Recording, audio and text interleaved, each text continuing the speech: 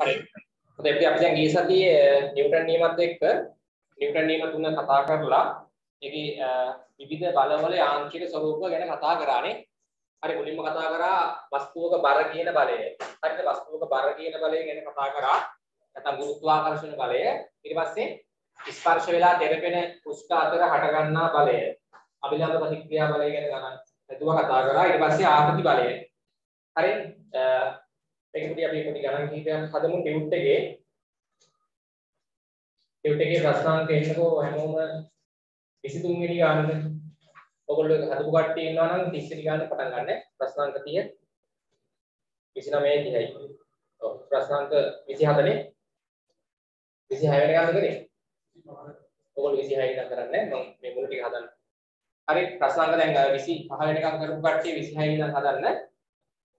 මම බෝඩ් එකේ ගණන් කීපයක් හදන්නම් 20 හරි ප්‍රශ්නාංක 23 ප්‍රශ්නාංක ටියුට් එකේ 23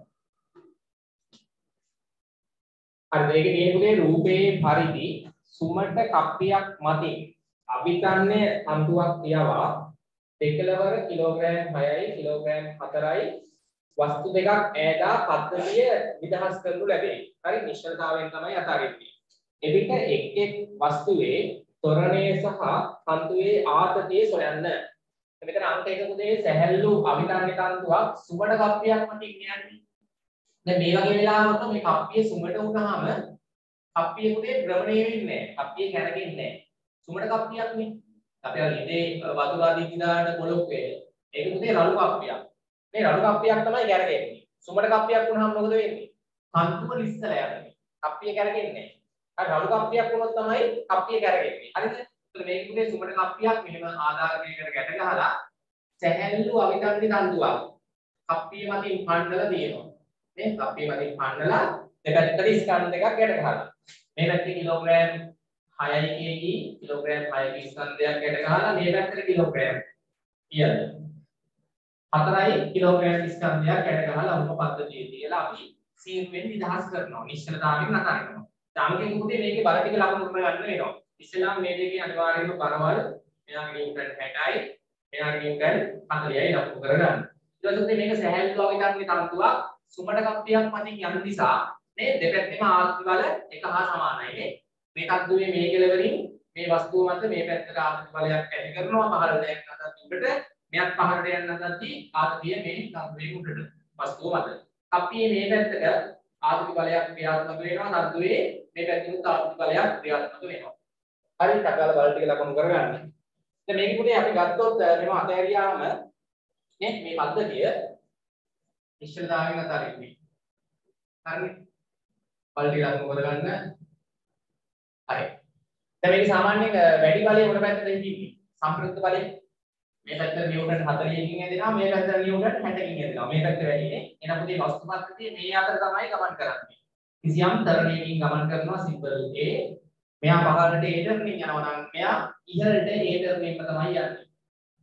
හරි ඊට පස්සේ x සමානයි 1 දාන්න ටර්නින් යද්දී හරි මම මෙයාට ඉස්සෙල්ලා ඕනනම් දාන්න 6යි A ට.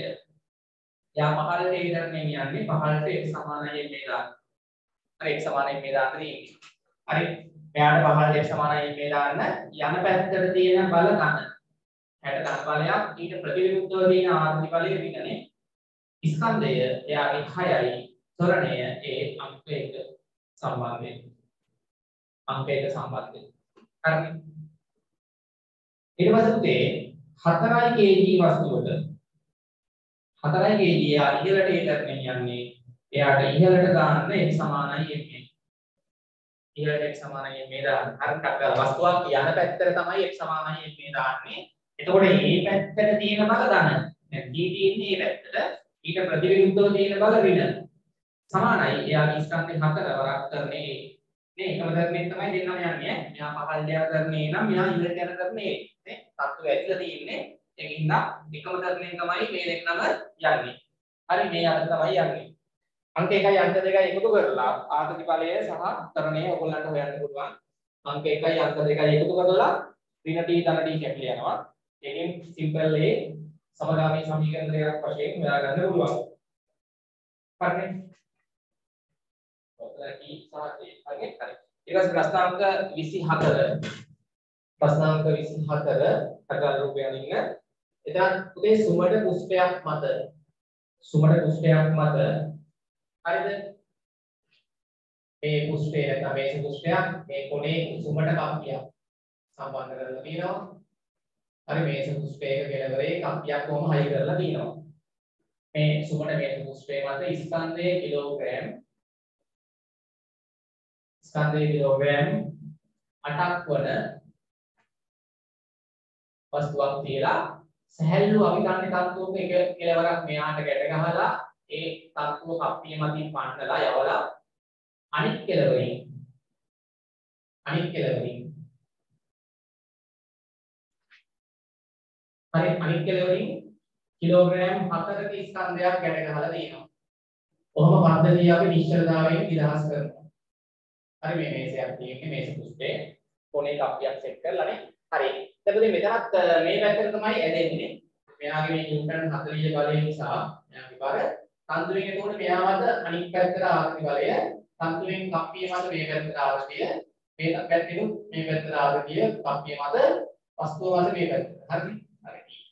එතකොට මෙයාගේ බර නිව්ටන් 40යි මේ 80යි අභිලාභ ක්‍රියාබලයක් මේ වෙලාවේ R මෙයා මත 80ට සමානයි.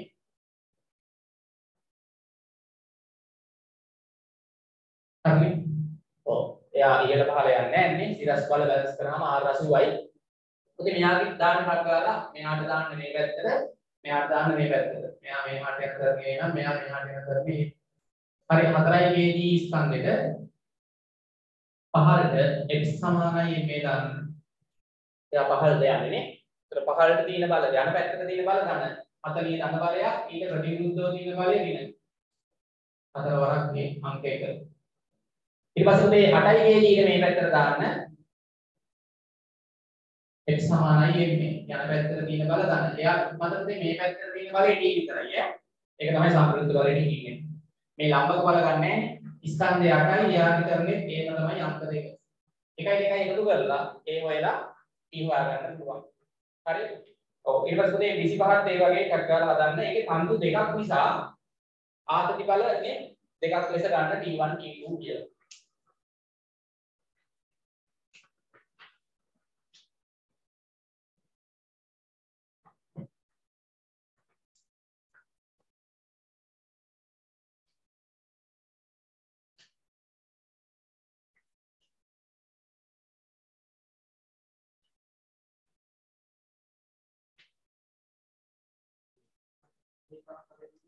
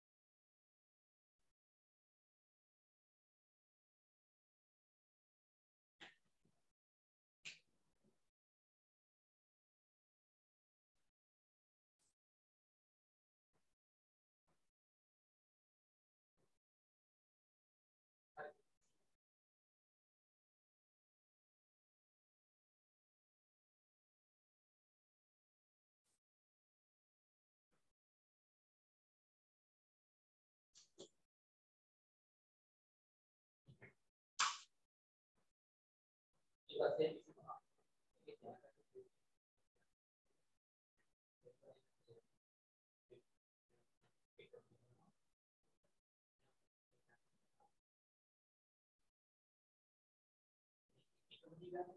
देगा अरे तो हम बोल रहे हैं कि एक एक एक हम भी बात कर रहे हैं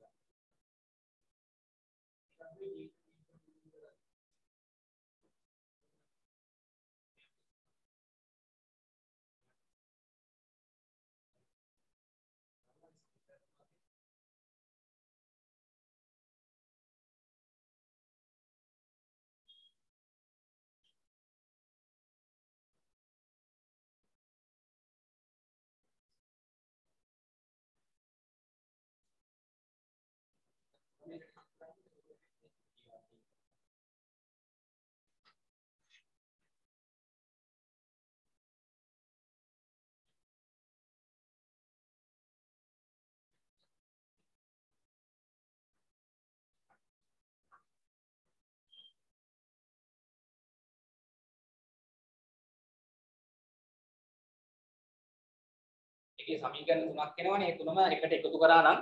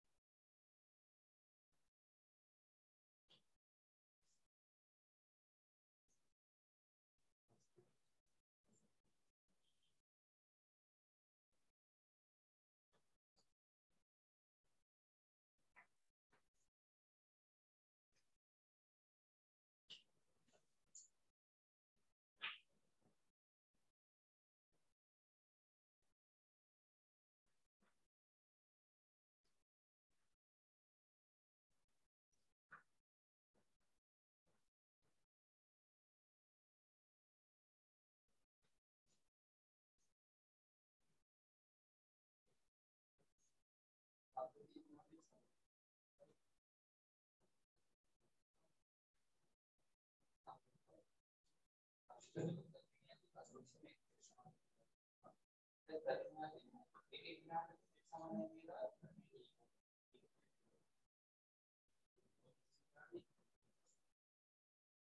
අපි ඉස්සෙල් ගන්න උත්තේ නම ගත උත්තේ.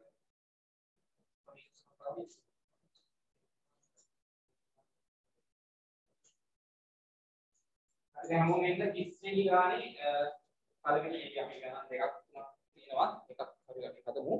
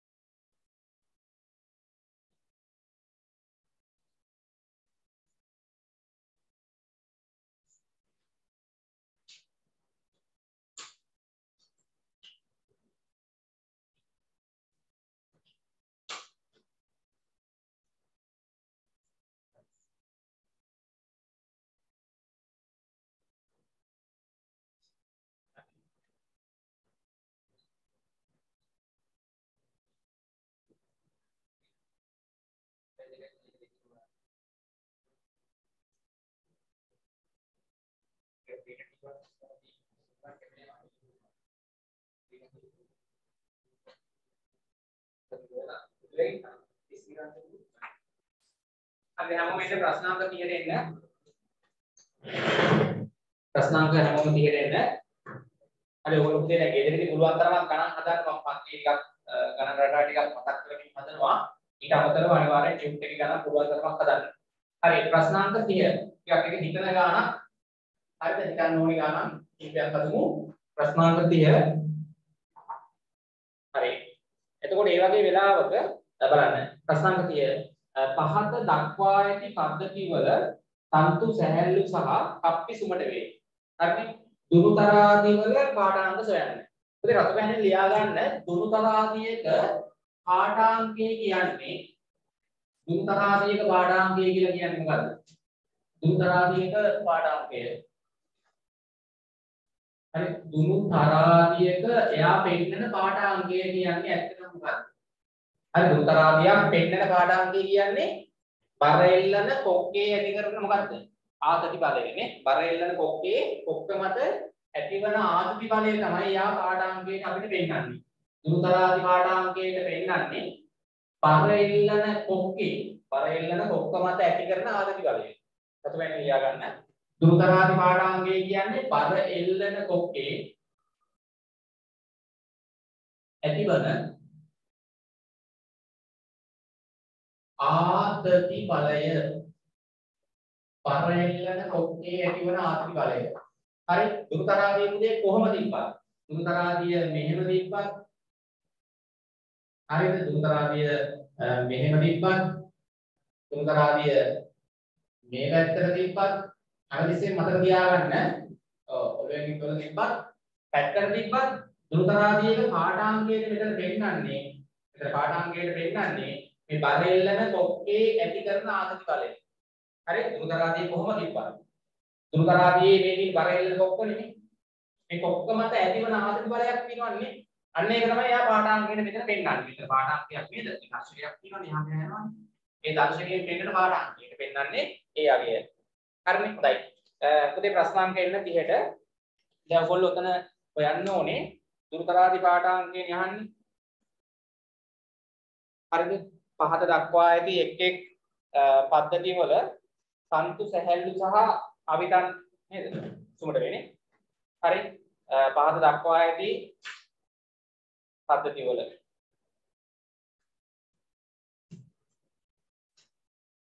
හරි බලන්න මේක ලියාගත්ත නේද? දුරුතරාදීයක පාඨාංකය කියන්නේ පරෙල්ලන කොක්ක. පරෙල්ලන කොක්ක කොක්කේ. පරෙල්ලන කොක්කේ පරෙල්ලන කොක්කේ ඇතිවන ආතති බලය. පරෙල්ලන කොක්ක මත ඇති කරන ආතති බලයනේ. හරි අපි කාර්යයක් එල්ලුවොත් නැත්නම් කොහොම හරි සම්බන්ධ කරලා තියෙන්නේ. පරෙල්ලන කොක්ක මත ඇතිවන ආතති බලය තමයි දුරුතරාදීයක පාඨාංකයට පෙන්වන්නේ. හරි පළවෙනි එක බලන්න මෙහෙමයි තියෙන්නේ. හරි මෙන්න මේ බිම්ම කෙලින්ම සම්බන්ධ කරලා තියෙනවා ආධාරකයකට දුරුතරාදීයේ ඒකේ කොක්ක තියෙන්නේ නේ. දුරුතරාදීයේ කොක්ක. මෙන්න දුරුතරාදීය. හරි. ඊට පස්සේ ඒකේ මේ පැත්තෙන් ගැට ගහලා තිනවා මොකද්ද? සුමට කප්පියක් නේද? සුමට කප්පියක්. මේ පැත්තෙන් සම්බන්ධ කරලා තිනවා සුමට කප්පිය.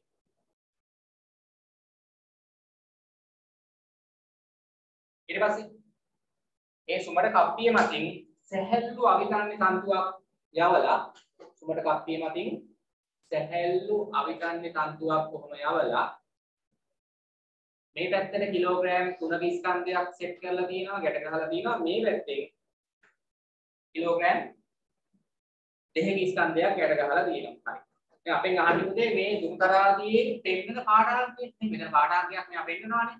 මේ පාඩාංකය කියන්නේ ඇත්තටම මොකද්ද මේ බර එල්ලන කොක්ක මත ඇති කරන ආත්මි බලය එහෙනම් ඔයගොල්ලෝ හොයන්න ඕනේ පුතේ බර එල්ලන කොක්ක මත ඇති වෙන ආත්මි බලය දා ගන්න ටී කියන්නේ බර එල්ලන කොක්ක මත ඇති වෙන ආත්මි හරි මේ දුම්තරාදියේ පුතේ කිලෝග්‍රෑම් එකක ස්කන්ධයක් තියෙනවානේ.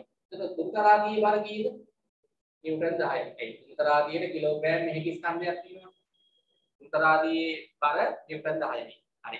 ඊට පස්සේ මෙතන දුම්තරාදියත් එක්ක මේ කප්පියේ තන්තුවකින් ගැට ගහලා තියෙනවා. එතකොට මේ තන්තුවෙන් ඇති කරන ආර්තිය අපි ගමු T1 කප්පිය මත මෙතනින් දුම්තරාදිය මත මේ T1. හරිනේ.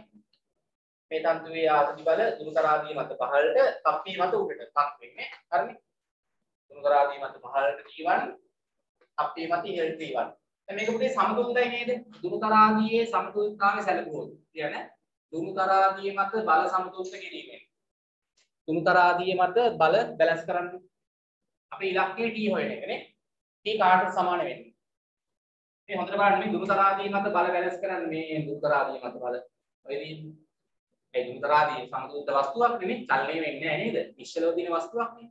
ඒ දුරුතරාදී මත බල සමතුලිත කිරීමෙන් දුරුතරාදී මත ඉහළට තියෙන බල සමාන කරන්න පහළට තියෙන බල බරයි මෙන්න මේ T1 බලයි. එහෙනම් හොඳේ ඕගොල්ලෝ හොයන්න ඕනේ T ඒ සඳහා මොකක් හොයන්න වෙනවද? T1 හොයන් ඉන්න වෙනවා. T1 හොයනකොට නම් ගාන හරිනේ හරි. T1 කියන්නේ මොකද මොකද්ද? මේ කප්පිය මත ඇති කරන බලය හරි. එතකොට මේ තන්දුව අපි දැන් සම්බන්ධ කරලා ස්කන්ධ දෙකක් ගැට ගහලා වම අතය ගියාම මොකද වෙන්නේ? මෙයා මේ පැත්තට තරණය වෙනවා, මෙයා මේ පැත්තට තරණය වෙනවා නේ.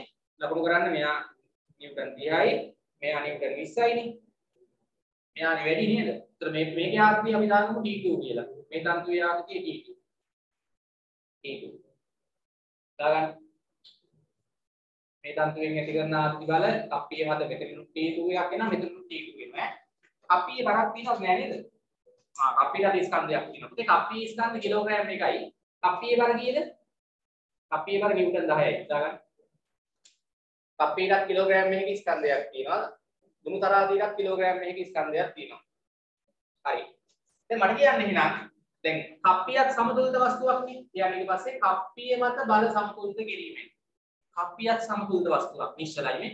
කප්පිය මත බල සමතුලිත කරාම කක්කර කියන්නේ කප්පිය මත තියෙන බල ටික මෙන්න මම රවුම් කරලා පෙන්නන්නම්. කප්පිය මත තියෙන බල ටික මේ ඉහළට බල T1 සමාන කරන්න. පහළට මොනවද තියෙන්නේ? කප්පියේ බල සහ මෙහෙන් එන T2 එකයි මෙහෙන් එන T2 එකයි. ඒ කියන්නේ දෙකයි T2. නේද? T2 T2 දෙකයි T2. සහ මෙයාගේ බර 10යි. ඉහළට තියෙන T1. දැන් අපි ඉලක්කයේ පුතේ තුන්තරාදි පාඨාංකය හොයන එක. ඒ කියන්නේ මේ T එක හොයන්න ඕනේ. බර එල්ලන කොක්ක මත ඇති කරන ආදති බලය තමයි තුන්තරාදි පාඨාංකයට එන්නේ. පාඨාංකයෙන් පෙන්නන්නේ. මේක හොයන්න මේක හොයාගන්න ඕනේ. මේක හොයන්න මේක හොයන්න ඕනේ. T2 හොයන්නේ කොහොමද? අර අපි කලින් ගානක් හිතුවේනේ. ඔතන පුතේ මෙයා දැන් කොහොම චලනය වෙනවනේ. කප්පිය මත. එයාලා සමතුලිත වස්තු නෙමෙයි ඈ. මෙයයි මෙයයි සමතුලිතයි. මේ දෙන්න සමතුලිත බෑනේ. මොකද මෙයා පහළට ඒ තරණේ යනවා. මෙයා ඉහළට ඒ තරණේ යනවා.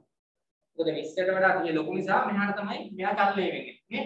හරි. මෙහෙම තන්තුව ඔහම ඉස්සල යනවා. මෙයා උඩ යනවා. මෙයා පහළ යනවා. දැන් අර කලින් ගාන හැදුවා වගේ මෙයාට x සමානයි එකේ දාන්න පහළට. මෙයා පහළට යන්නේ. ගාන 3 kg ට පහළට x සමානයි එක.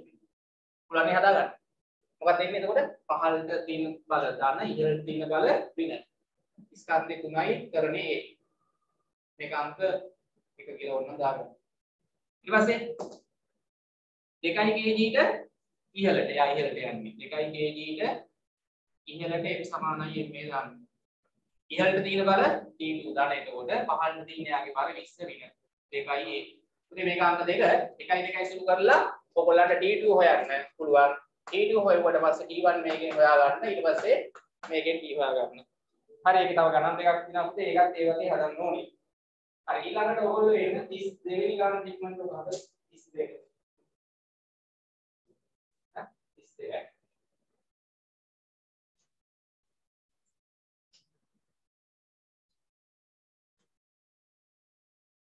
ඊට පස්සේ ඔයගලන්ට මේ සමීකරණ දෙක එකතු කරා නම් ඍණ t ධන t2 කැපිලා ගිහලා a හෙව්ව හැටි.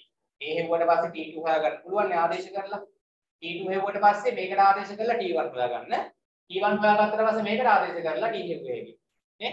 බර වෙලන කොක්කේ ඇති කරන ආදති බලය තමයි දුකතරාදි පාඨාංගයෙන් පෙන්නන්නේ. හරි. මේකෙන් පස්සේ සුළු කරන්න තියෙන්නේ පුළුවන් නේ? හරි. ඊට පස්සේ දැන් 32 තියෙන්නේ එතන මේ දුරු තරාදියක් නෙමෙයි තෙරපුන් තරාදියක්. පොඩක් ඒක හදාගන්න ටියුට් එකේ ආරෝහකයක් කියන ලිෆ්ට් එකක් 32 දශනාංක 32ට එන්නේ. ආරෝහකයේ උත්තෝලකයේ ලිෆ්ට් එකක්. හරිද? ආරෝහකයක් උත්තෝලකයක් කියන ලිෆ්ට් එකකට ලිෆ්ට් එකක සවි කොට ඇති එතන තෙරපුන් තරාදියක්.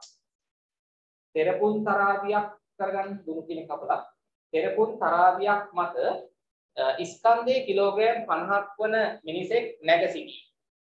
හරි තෙරපුන් තරාදී නේද? ඔය තෙරපුන් තරාදීක පාඩාංගය කියන්නේ මොකක්ද? ඒක ලියා ගන්න. එතන ඔන්න රතුපෑනේ තෙරපුන් තරාදීක පෙන්නන පාඩාංගය. තෙරපුන් තරාදී පෙන්නන පාඩාංගය සමාන වෙන්නේ කාටද? තෙරපුන් තරාදීක පාඩාංගය. ලියා ගන්න රතුපෑනේ පුතේ තෙරපුන් තරාදීක පාඩාංග කියන්නේ අර බර තබන තැටිය මත ඇති කරන අභිලම්බ ප්‍රතික්‍රියාවලිය. මතකනේ තෙරපුන් තරාදී. හරිද? මම මේ වගේ නේද?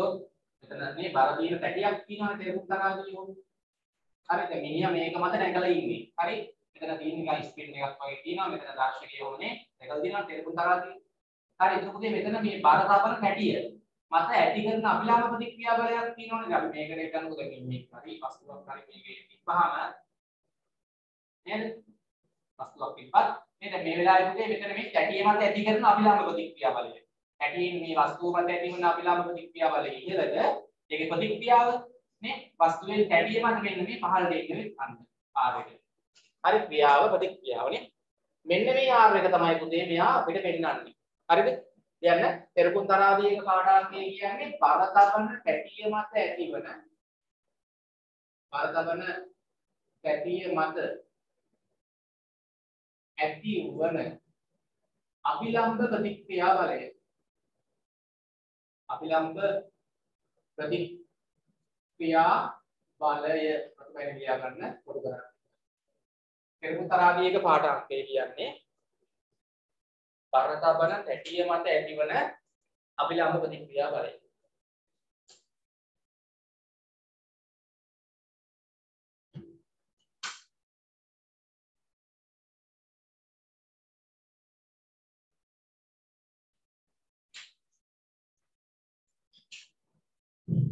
හරි තෙරමුන් තරාදියක පාඩාංකය කියන්නේ පරතබන කැටිය මත ඇතිවන අභිලම්බ ප්‍රතික්‍රියා බලය.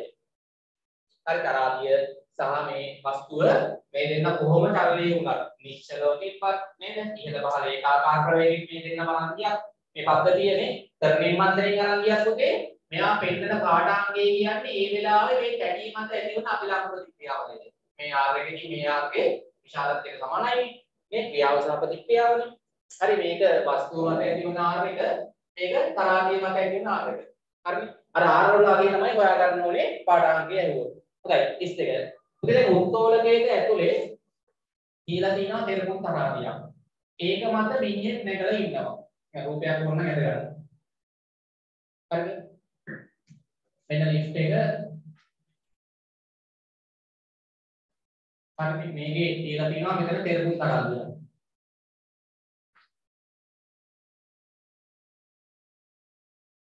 හරි. මෙන්න තෙරපුන් තරාදියක්. එතකොට මේකේ නැගලා ඉන්නවා මිනිහෙක්.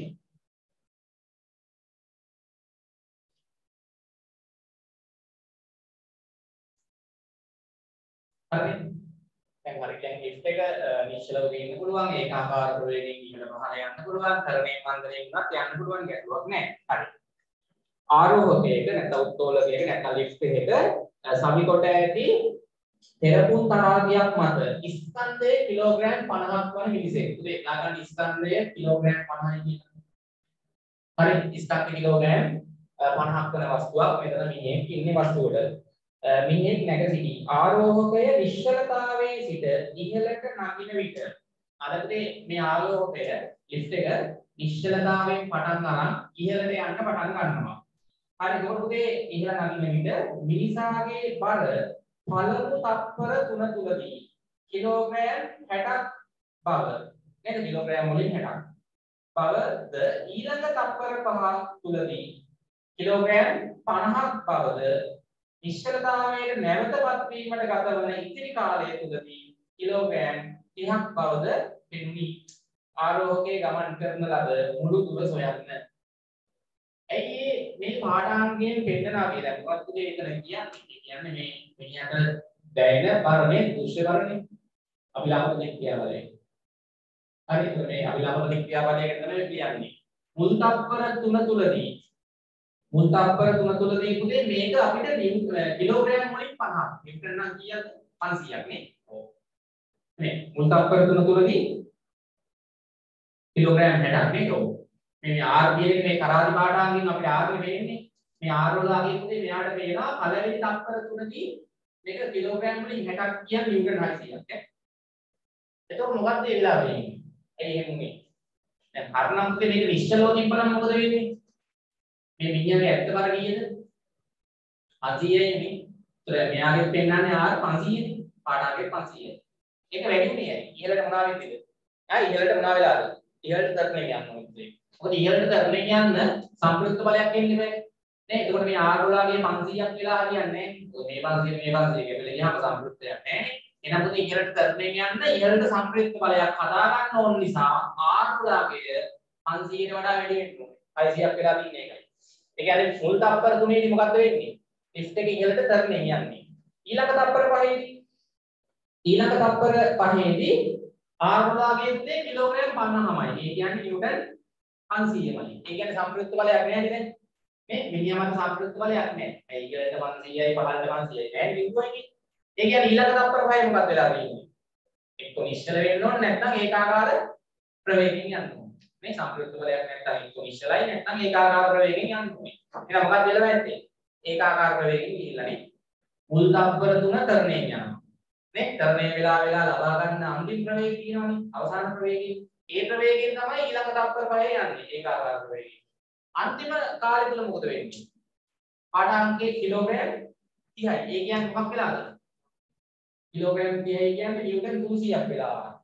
එතකොට මේ සම්ප්‍රයුක්ත බලය පහළට එන්නේ. ඒක ඉහළට යද්දි සම්ප්‍රයුක්ත බලය පහළට තියෙනවා කියන්නේ අන්තිම තත්පර කීපය තුල මන්දණයෙන් ගිහිල්ලා තියෙනවා. හරිනේ? මන්දණයෙන් ගිහිල්ලා නිශ්චල වෙලා. මේකේ ඕනනම් පුතේ එහෙම රූපයක් නිකන් ඇඳ හැකි අවස්ථාව තුන මෙන්න ලිෆ්ට් එක හරි මෙහා එතකොට නිශ්චලතාවයෙන් පටන් අරන් ලිෆ්ට් එක යනවා වගේ තමයි මිනිහා කියන්නේ. උනා මිනිහා විතරක් යන ගත්තත් කමක් නැහැ. ඒතර මිනිහා මත අභිලාභ ප්‍රතික්‍රියාවලය R හරිද? බර පහළට කොහොමත් 500යි නේ ඇත්ත බර හරිනේ. එතන මෙතන පුතේ P සමානයි බිඳුවෙන් පටන් අරන් තප්පර 3ක් යනකම් තරණයෙන් තමයි එන්නේ දාගන්න ටක් ගාලා හරි. ඒ ආපු දුර S1 ඊට පස්සේ එතනින් පස්සේ මොකද වෙන්නේ?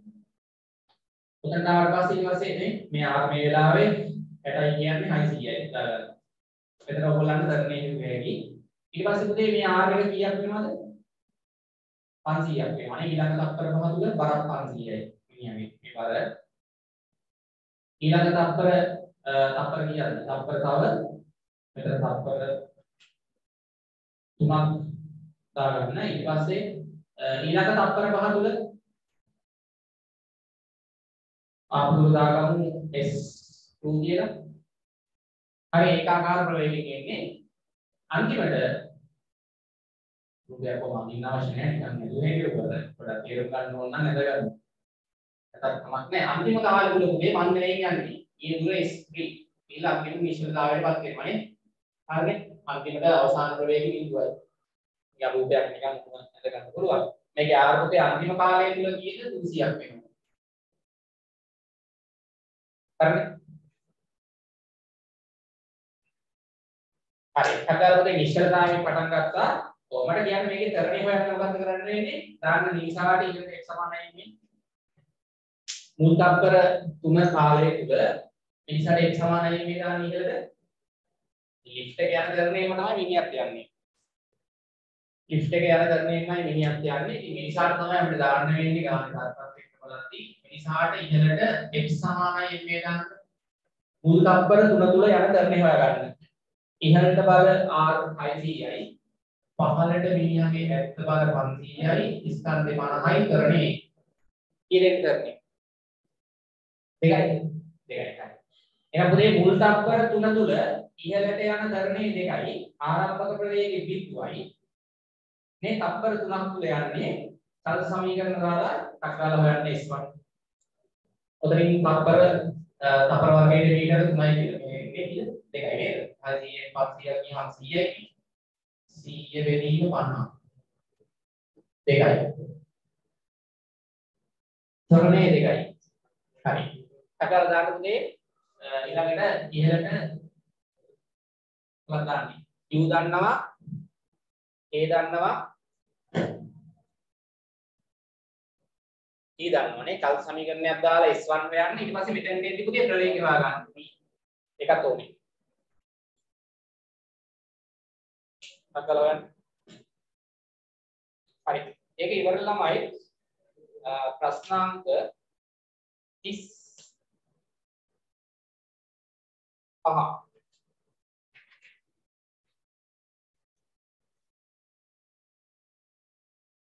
ප්‍රශ්නාංක 35 කරන්න.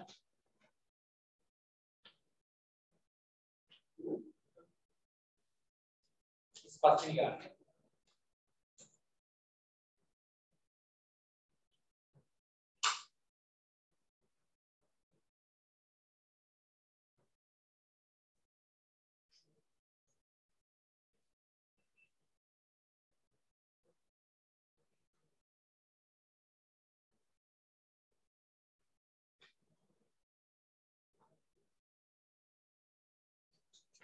හරි මේක පුතේ අපිට S1 හොයන්න දැම්ම හැකි මොකක්ද S සමානයි UT ධන භාගයයි කිය වර්ගනේ S සමානයි UT ධන භාගයයි AD වර්ග දාන්න.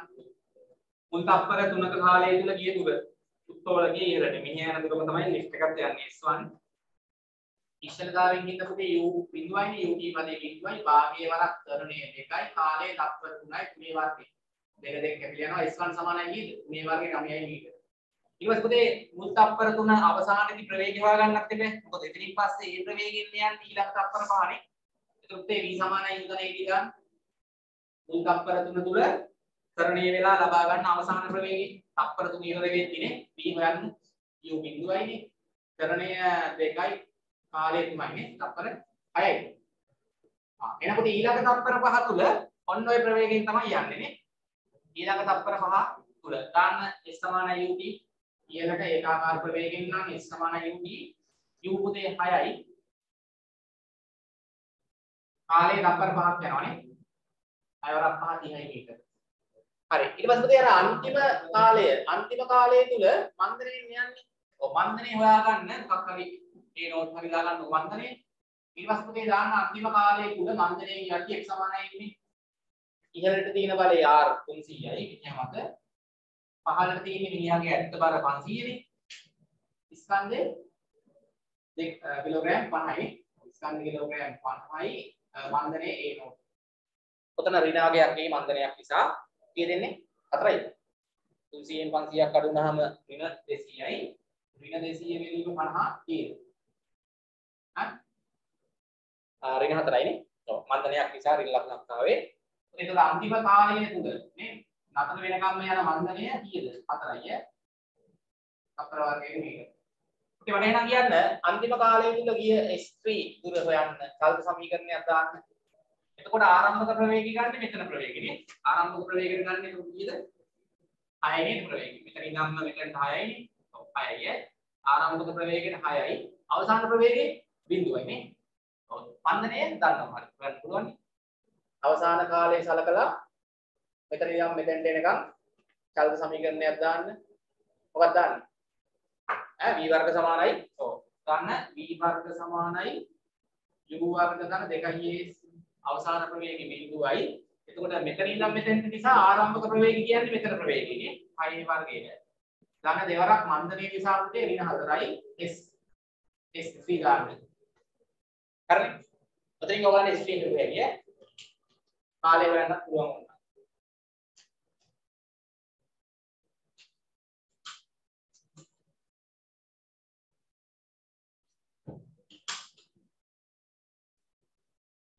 ඍණ හතරවරක් දෙක ඍණ 8යි S3 මෙහාට ගත්ත ධන 8යි S3 හය වරක් 6 36යි 36 බෙදී මටත් දෙන්නේ.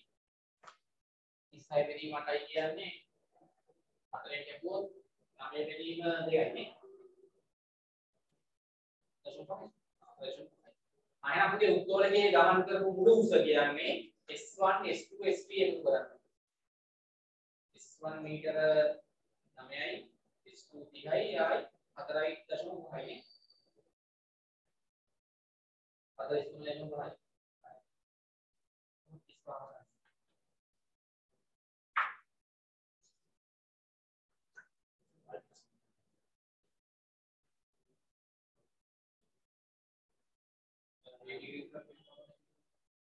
आपसे आपसे देवरा का भगवान मित्र का भगवान वीर का හත් නිදාන පුළුවන් සමානයි. කාලේ ඔක්කොම කරන්නේ. මෙන්න අපට බලන්න ඒක සම්පූර්ණ පද්ධතිය සමානයෙන් නිදාන පුළුවන්. පද්ධතිය බලන්න. මෙන්නට සමානයෙන් නිදාන මෙහෙම බලන්න. වේදිකාවට එක්ක සමානයෙන් නිදාන වේදිකාවට වේදිකාව බලන්න.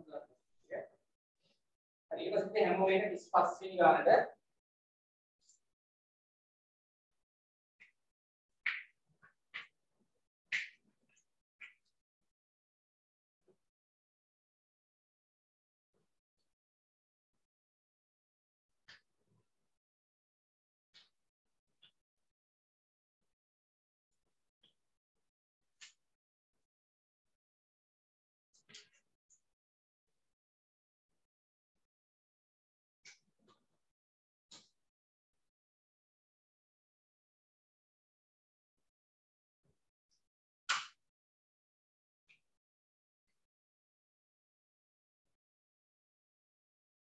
හරි හැමෝම ඉන්න 35 වෙනි ගානට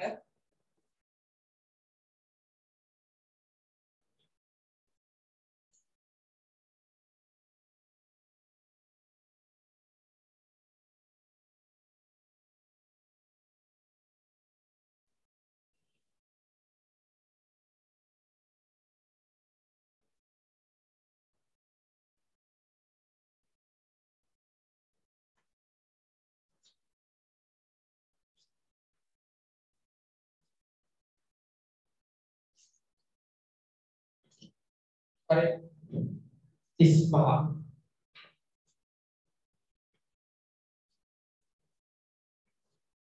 හරි එතන පුතේ හරියට බල ටික ලකුණු කරන්න වෙනවා. රූපේ පරිදි ගොඩනැගිල්ලක පිටත පිටියේ සායංගාන මිනිහෙක් ඉහළ යාම සඳහා සුමට කප්පියක් වටා ලණුවක එක් කෙළවරකින් එල්ලූ ලෑලි වේදිකාවක් මත හිඳ ලණුවේ අනෙක් කෙළවරින් පහළට අදී. මිනිසාගේ ස්කන්ධය කිලෝග්‍රෑම් 75ක් වුවද ඔහු විසින් වේදිකාව මත ඇති කරන බලය නිව්ටන් 300ක් වේ. වේදිකාවේ ස්කන්ධය කිලෝග්‍රෑම් 25ක් නම් මිනිසා සමග වේදිකාව ඉහළට ගමන් ගන්නා තොරණේ සොයන්න. හරි. ගානේ කියන ටික හොඳට පැහැදිලිව කියන්න. හරිද ඊට පස්සේ බල ටික ලකුණු කරන්න වෙනවා හරියට ඈ. හරි මෙහෙම දෙයක් තියෙන්නේ. දැන් මේ වගේ ඔයගොල්ලෝ සම්මුතිය දැකලා නැති ඔය නේද? ලොකු බිල්ඩින් වල පිටත නේද? තීන්ත කාර්ය මේ වගේ හැටුම් හදා ගන්නවා. හරිද මේක පුතේ මුලින්ම තියෙන මේ කප්පිය උඩ ආධාරකයකට ගැට ගහලා තියෙන්නේ සම්බන්ධ කරලා තියෙන්නේ. නේ? උඩ ආධාරකයක මේ කප්පිය අටලව සම්බන්ධ කරලා තියෙන්නේ. හරිනේ? කප්පිය සුමර කප්පියක් මෙහිම ආධාරකයකින් අතලව හයි කරලා තියෙනවා හරි. ඊට පස්සේ මෙතන තියෙනවා පුතේ තන්තුවක් සම්බන්ධ කරලා මේ තන්තුවක් අරගෙන කපියක් තන්තුවක් සැහැල්ලුව වෙනන්නේ කප්පිය මතින් කොහොම පන්නලා මේ පැත්තේ කෙලවර තමයි වේදිකාවට ගැට ගහලා තියෙන්නේ. හරිද? මේ පැත්තේ කෙලවර වේදිකාවට ගැට ගහලා තියෙනවා.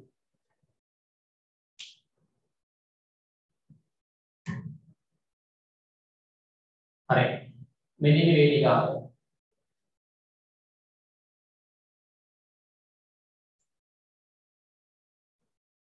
හරි. හරි. ඊට වේදිකාව මත ඉන්න මිනිහා මේ ඉන්නේ. වේදිකාව මත ඉන්න මිනිහා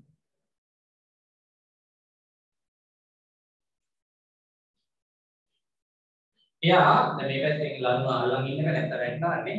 හරි ලනු මත බලයක් දීගෙන පහළට ඇදගෙන ඉන්නේ. නැත්නම් වැටෙනවනේ. හරි සමාන දෙයක්. මේ ලනුව මෙයා අදිනවා. හරි. ලනුවක් දැරියොත් මෙහෙ වැටෙනවානේ. අනිත් හරිය වැටෙනවා. හොඳයි. ඒකත් මේකෙදී අපිට කියන්නේ මිනිහා දැන් ලනුව ඔහොම ඇදලා වේදිකාවත් එක්ක මිනිහා ඉහළට කිසියම් තරමයකින් යනවා මේ වෙලාවේ. වේදිකාවයි මිනිහයි එකම ධර්මයකින් යනවා විහෙරට. දාගන්න ඒ කියන හරි. මේක මේ බල ටික තමයි හරියට ලකුණු කරන්න ඕනේ. බල බල ටික කොහොමද එන්නේ කියලා. හරි. කොහොමද උදේ අපි ඉස්සෙල්ලාම මිනිහාගේ ස්කන්ධ කීයද? මිනිහාගේ ස්කන්ධ කිලෝග්‍රෑම් 75යි. ඒකෝර මිනිහාගේ බාර අනිවාර්යයෙන් ලකුණු කරන්න. මිනිහාගේ බාර එන්නේ නිව්ටන් 750යි. හරි. ඊට පස්සේ ලෑල්ලේ ස්කන්ධය කීයද වේදිකාවේ? වේදිකාවේ ස්කන්ධය කිලෝග්‍රෑම් 25යි. ඒක අනිවාර්යෙන්ම වේදිකාවේ බර 250යි නිව්ටන්.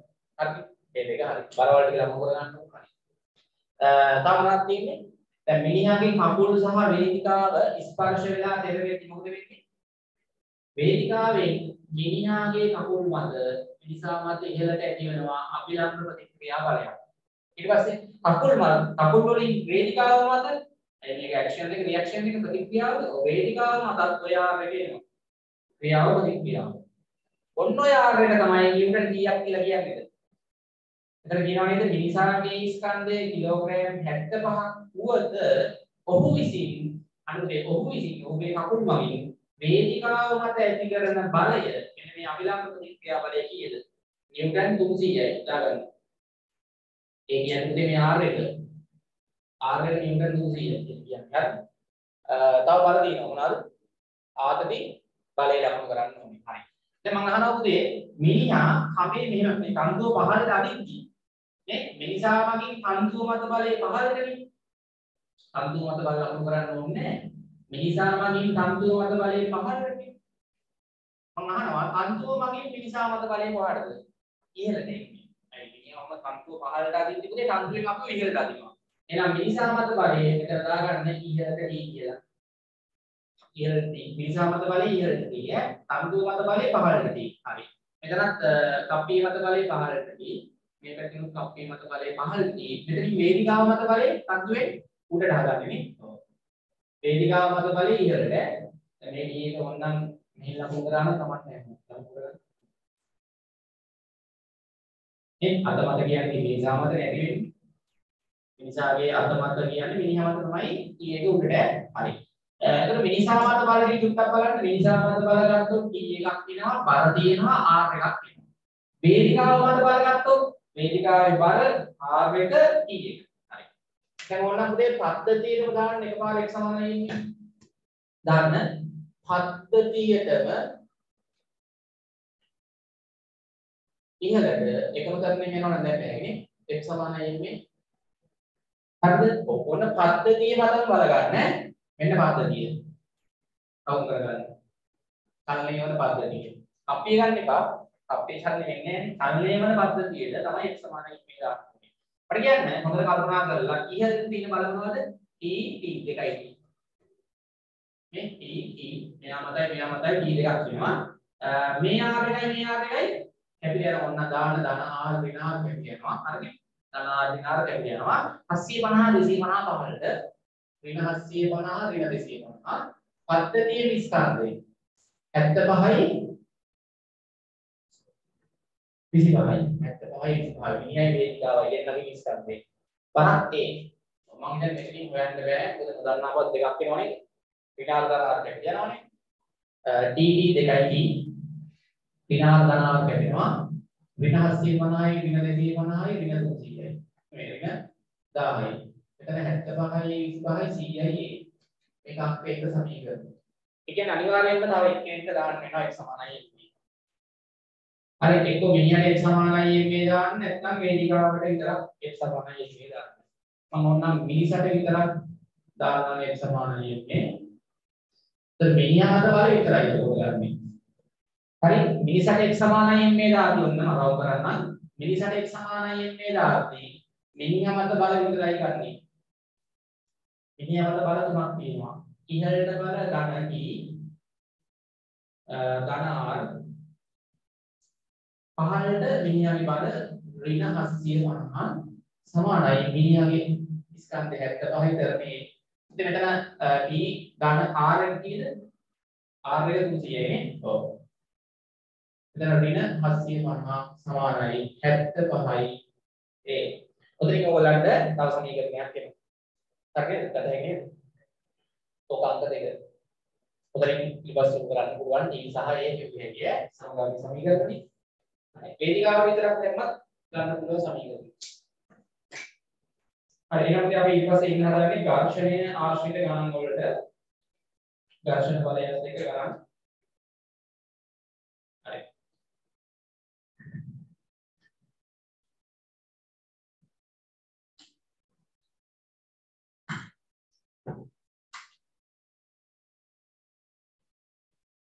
කියද්දි උත්තරය ඔතන සුළු කරන්න t ධන 300යි ඍණ 750යි ඍණ 450යි සමානයි 75යි අංක දෙක සමීකරණේ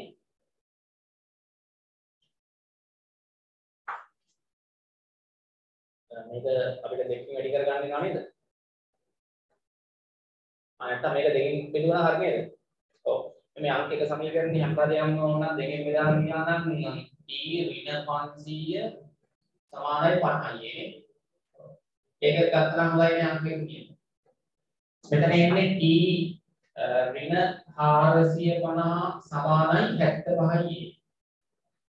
අංක දෙක. අංක දෙකෙන් අංක එක අඩු කරා නම් හරිනේ. අංක දෙකෙන් අංක එක අඩු කරා නම් හරි. හරිනේ ධන T ධන T ඉන්න අඩු කරන්න වෙනවා. කැපෙන්න. තරණය යෝ හැකිය.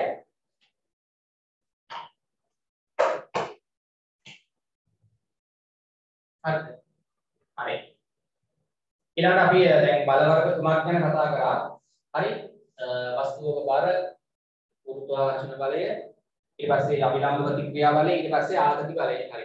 අන්තිම බලයේ දාන මාතෘකාව අංක 4 නේද? හරි බලවල විවිධ යාන්ත්‍රික ස්වරූප වල අංක 4 වෙනි බලය. ඝර්ෂණ බලය. ඝර්ෂණ බලය.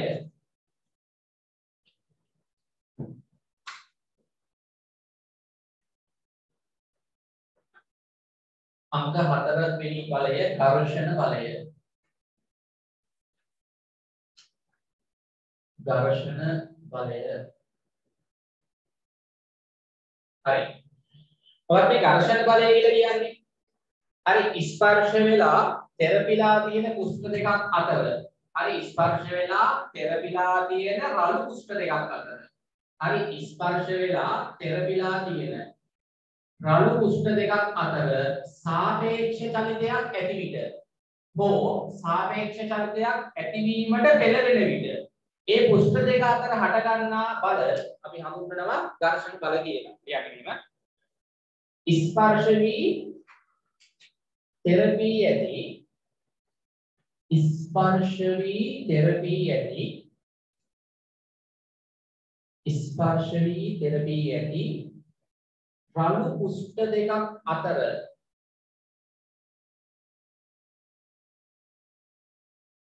රළු කුෂ්ඨ දෙකක් අතර සාපේක්ෂ චලිතයක්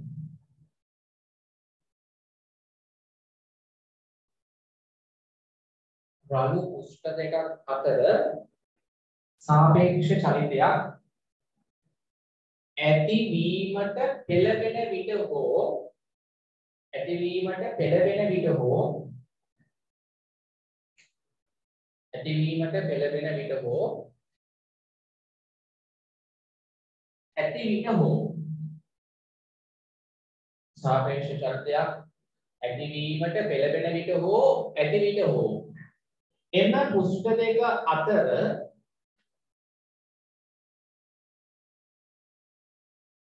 එම පෘෂ්ඨ දෙක අතර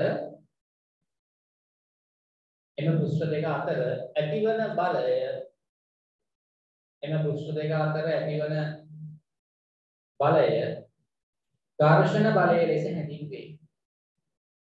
එම පෘෂ්ඨ දෙක අතර ඇතිවන බලය ඝර්ෂණ බලය ලෙස හැඳින්වේ. ඝර්ෂණ බලය ලෙස හැඳින්වේ. හරි. ඝර්ෂණ බලයේ සම්බන්ධයෙන් අපිට ගොඩක් ඉගෙන ගන්න දේවල් ටිකක් තියෙනවා. අපි ටිකක් මතක් කරලා ගමු.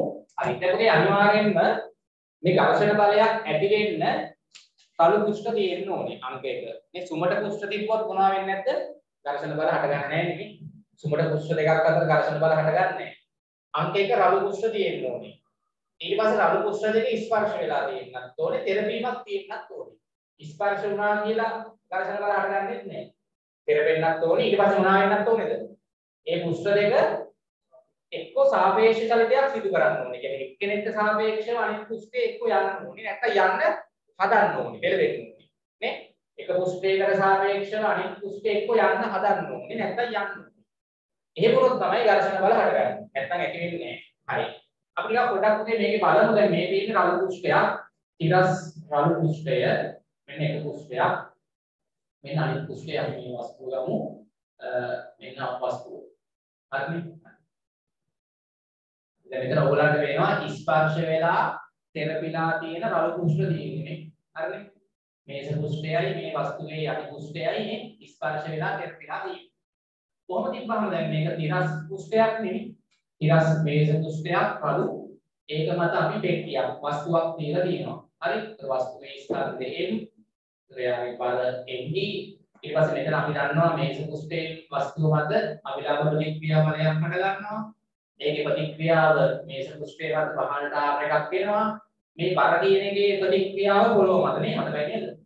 මේ පොළොවෙන් මේ වස්තුව මත ඇති කරන බලය නෙමෙයි බර නේ ගුරුත්වාකර්ෂණ බලය වස්තුවේ පොළොව මත එම් එකක් වෙනවා නේ ක්‍රියාව ප්‍රතික්‍රියාව ක්‍රියාව ප්‍රතික්‍රියාව නේ අපි සාමාන්‍යයෙන් පොළොව මත බල ලකුණු කරන්න අවශ්‍ය නැහැ. නැත්නම් හැම තිස්සෙම පුතේ ඕනම බලයක් ගත්තොත් එයාගේ ප්‍රතික්‍රියාවක් කොහේ හරි වස්තුවක් මත තියෙන්න ඕනේ. හරි. දැන් මෙහෙම තිබ්බා කියලා ඝර්ෂණ බල හට ගන්නෑ රළු කුෂ්ඨයක් වුණාට මෙහෙම නිකන් දීපි ඝර්ෂණ බල හට ගන්නෑ මොකක් වෙන්න ඕනේද? එක්ක මේ රළු කුෂ්ඨය මත මෙයා සාපේක්ෂ කලිතයක් ඇති කරන්න පෙළඹෙන්න ඕනේ. මේ රළු කුෂ්ඨය මත මේ වස්තුව මේ සාපේක්ෂ චලිතයක් ඇති කරන්න පෙළඹෙන්න ඕනේ. නැත්තම් සාපේක්ෂ චලිතයක් ඇති කරන්න ඕනේ. මොකද මේ සාපේක්ෂ චලිතයක් කියලා කියන්නේ එක පුෂ්ඨයකට සාපේක්ෂව අනෙක් පුෂ්ඨය එක්ක යන්න ඕනේ නැත්තම් යන්න හදන්න ඕනේ. අන්න එහෙම වෙද්දී පුෂ්ඨ දෙක අතර හට ගන්නවා ඝර්ෂණ බල. හරි එතකොට දැන් මේ විදිහට මම සාපේක්ෂ චලිතයක් නිකන් ඇති කරන්න හදන්න නම් බලයක් යොදන්න වෙනවා අනිවාර්යයෙන්ම බාහිර මේ වෙලාවේ. මේ වස්තුව මත බාහිර බලයක් මම මොන්නේ යොදනවා. බාහිර බලයේ මම නිකන් අහනවා F කියලා ගමුනේ බාහිර බලයේ නැත්නම් P කියලා ගමුකෝ රූපය දැනගන්නකෝ බාහිර බලය අපි බලමු. ටික ටික වැඩි කර කර යද්දි මොකද වෙන්නේ කියලා බිඳුව එක වස්තුව මත අපි ඉරස්ව බාහිර බලයක් යොදන්නයි හදන්නේ. ඉක්මනට රූපයක් ඉන්න.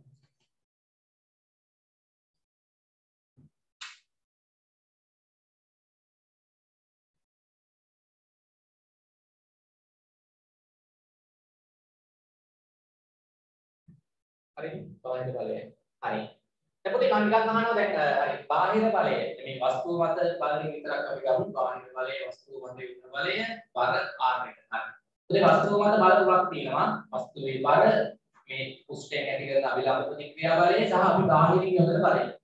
මේ බාහිරින් යොදන බලය තවවතාව කියන්න b සමානයි බිඳුව විට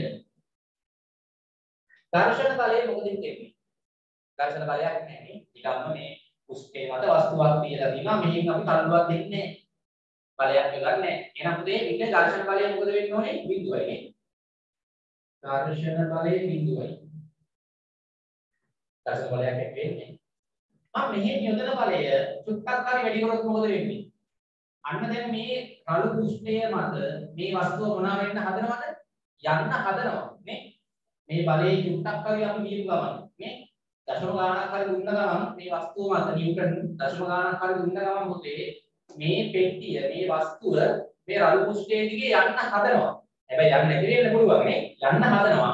ඒ යන්න හදද්දිම ඊට ප්‍රතිවිරුද්ධ අතට රළු කුෂ්ඨයේ අන්න හද ගන්නවා මොකද්ද? ඝර්ෂණ බලය.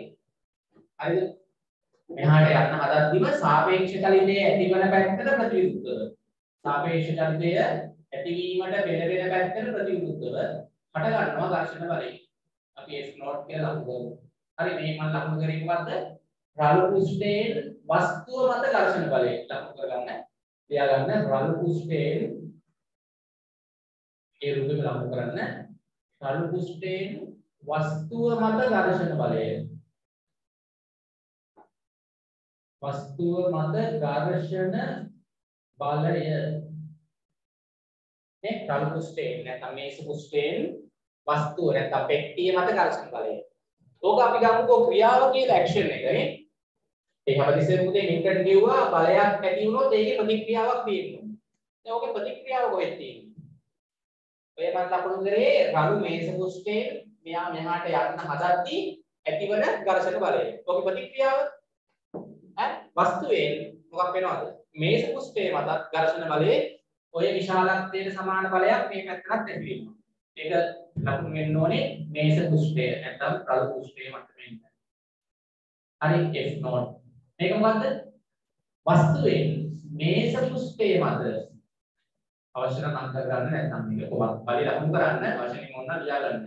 වස්තුවේ මේස කුෂ්ඨය මත රළු කුෂ්ඨය මත ඝර්ෂණ බලය. හරිද? action reaction. රළු කුෂ්ඨයෙන් වස්තුව මත ඝර්ෂණ බලය කරන්නේ මේ පැත්තට. ඒක ක්‍රියාවලිය action එක. වස්තුවෙන් රළු කුෂ්ඨයේ මත ඝර්ෂණ බලය මෙහාට. ඒක මෙහා මත. මේක මෙහා මත. ක්‍රියාව ප්‍රතික්‍රියාව. විශාලත්වයෙන් සමානයි දිශාවෙන් ප්‍රතිවිරුද්ධයි වස්තු දෙකක් මත. හරිනේ? මෙහා මේ කුෂ්ඨයේ මත මෙහා වස්තුව මත. හරි. ඒක ලියා ගන්න ප්‍රතික්‍රියාව. ප්‍රතික්‍රියාව. දැන් මෙහා චලනය වෙන්නේ නැත්තම් නේද? චලනය වෙන්නේ නැහැ කියන්නේ ඉස්සරහ තියෙනවා දැන්. එහෙනම් අපිට මොකක්ද කියන්න ඕන? මෙයාව තාම චලනය වෙන්නේ නැහැ කියන්නේ මේ අපි යොදන බාහිර බලයේ විශාලත්වය සමානයි මෙයා මත ඇතිවෙච්ච ඝර්ෂණ බලයට. කියන්නේ වස්තුව චලනයේ නොවේ නම් වස්තුව චලනයේ නොවේ නම් කියන්නේ P සමානයි F not වේ. වස්තුව චලනයේ නොවේ නම් මොකද වෙන්නේ? අපි යොදන බලය බාහිර බලයට සමාන වෙන්නේ. ඒ යන්නේ නැහැ පෙට්ටියනේ. වස්තුව යන්නේ නැහැ කියන්නේ. අපි නිව්ටන් එකකින් යෙදුවාම පෙට්ටිය යන්නේ නැහැ කියන්නේ ඝර්ෂණ බලයක් නිව්ටන් කීයද? එකයි. මේක නිව්ටන් දෙකක් කරාම ඒත් යන්නේ නැත්තම් ඝර්ෂණ බලයක් නිව්ටන් දෙකක් වෙනවා ශනිකව. මෙයා නිව්ටන් තුනක් කරාම ඒත් මෙයා යන්නේ නැහැ කියන්නේ නිශ්චලයි සම්පූර්ණයි. ඝර්ෂණ බලය ශනිකව තුනක් වෙනවා නිව්ටන්. මෙයා නිව්ටන් හතක් කරාම යන්නේ නැහැ කියන්නේ මෙයාත් නිව්ටන් හතයි. තේරෙනවද? මෙයා නිව්ටන් දශම එකක් නම් මෙයාත් දශම එකයි. මේ යන්නේ නැත්තම් නේ බල වෙනස්නේ. මෙහාට බල මෙහාට බල වලට සමානයි. මේ පෙට්ටිය මත බල වෙනස් කරන්න. සිරස් බල කොහොමත් සමානයි. R එන්ජිට හරි. ඊට පස්සේ නිකන් මේක අපි නිව්ටන් 10කට වගේ මේක නිව්ටන් 10ක් වගේ කරා නිකන් අපිට පේනවා පුතේ යන්න නිකන් මොකක් වෙන්න ගන්නවද මේ වස්තුව නිකන් යන්න ඔන්න වෙන්න අවස්ථාවකටපත් වෙනවානේ හරි මේ බලය අපි නිව්ටන් 10 දක්වා වැඩි කරද්දී මෙයා නිකන් යන්න ඔන්න වෙන්න අවස්ථාවට එනවා. සීමාකාරී අවස්ථාවකට එනවා. ඒ වෙලාවෙත් යන්න හදනවා යන්නේ නැහැ ඒ කියන්නේ මොකද යොදන බලයේ ඝර්ෂණ බලයට සමානයි. හරි කියන්නේ p ක්‍රමයෙන් වැඩි කරන විට p ක්‍රමයෙන් වැඩි කරන විට p ක්‍රමයෙන් වැඩි කරන විට වස්තුව නිශ්චලව පවතින තාක් වස්තුව නිශ්චලව පවතින තාක් ඝර්ෂණ බලයද ඊට සමානව වැඩි වේ.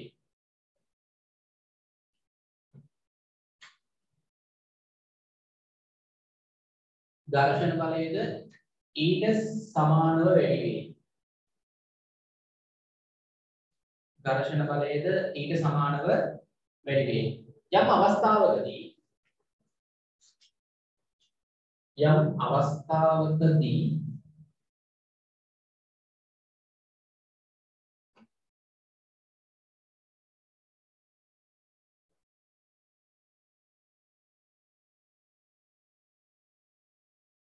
යම් අවස්ථාවකදී වස්තුව චලනය වීමට වස්තුව චලනය වීමට වස්තුව චලනය වීමට ආසන්නතම අවස්ථාවට එළඹේ. වස්තුව චලනය වීමට ආසන්නතම අවස්ථාවට එළඹේ.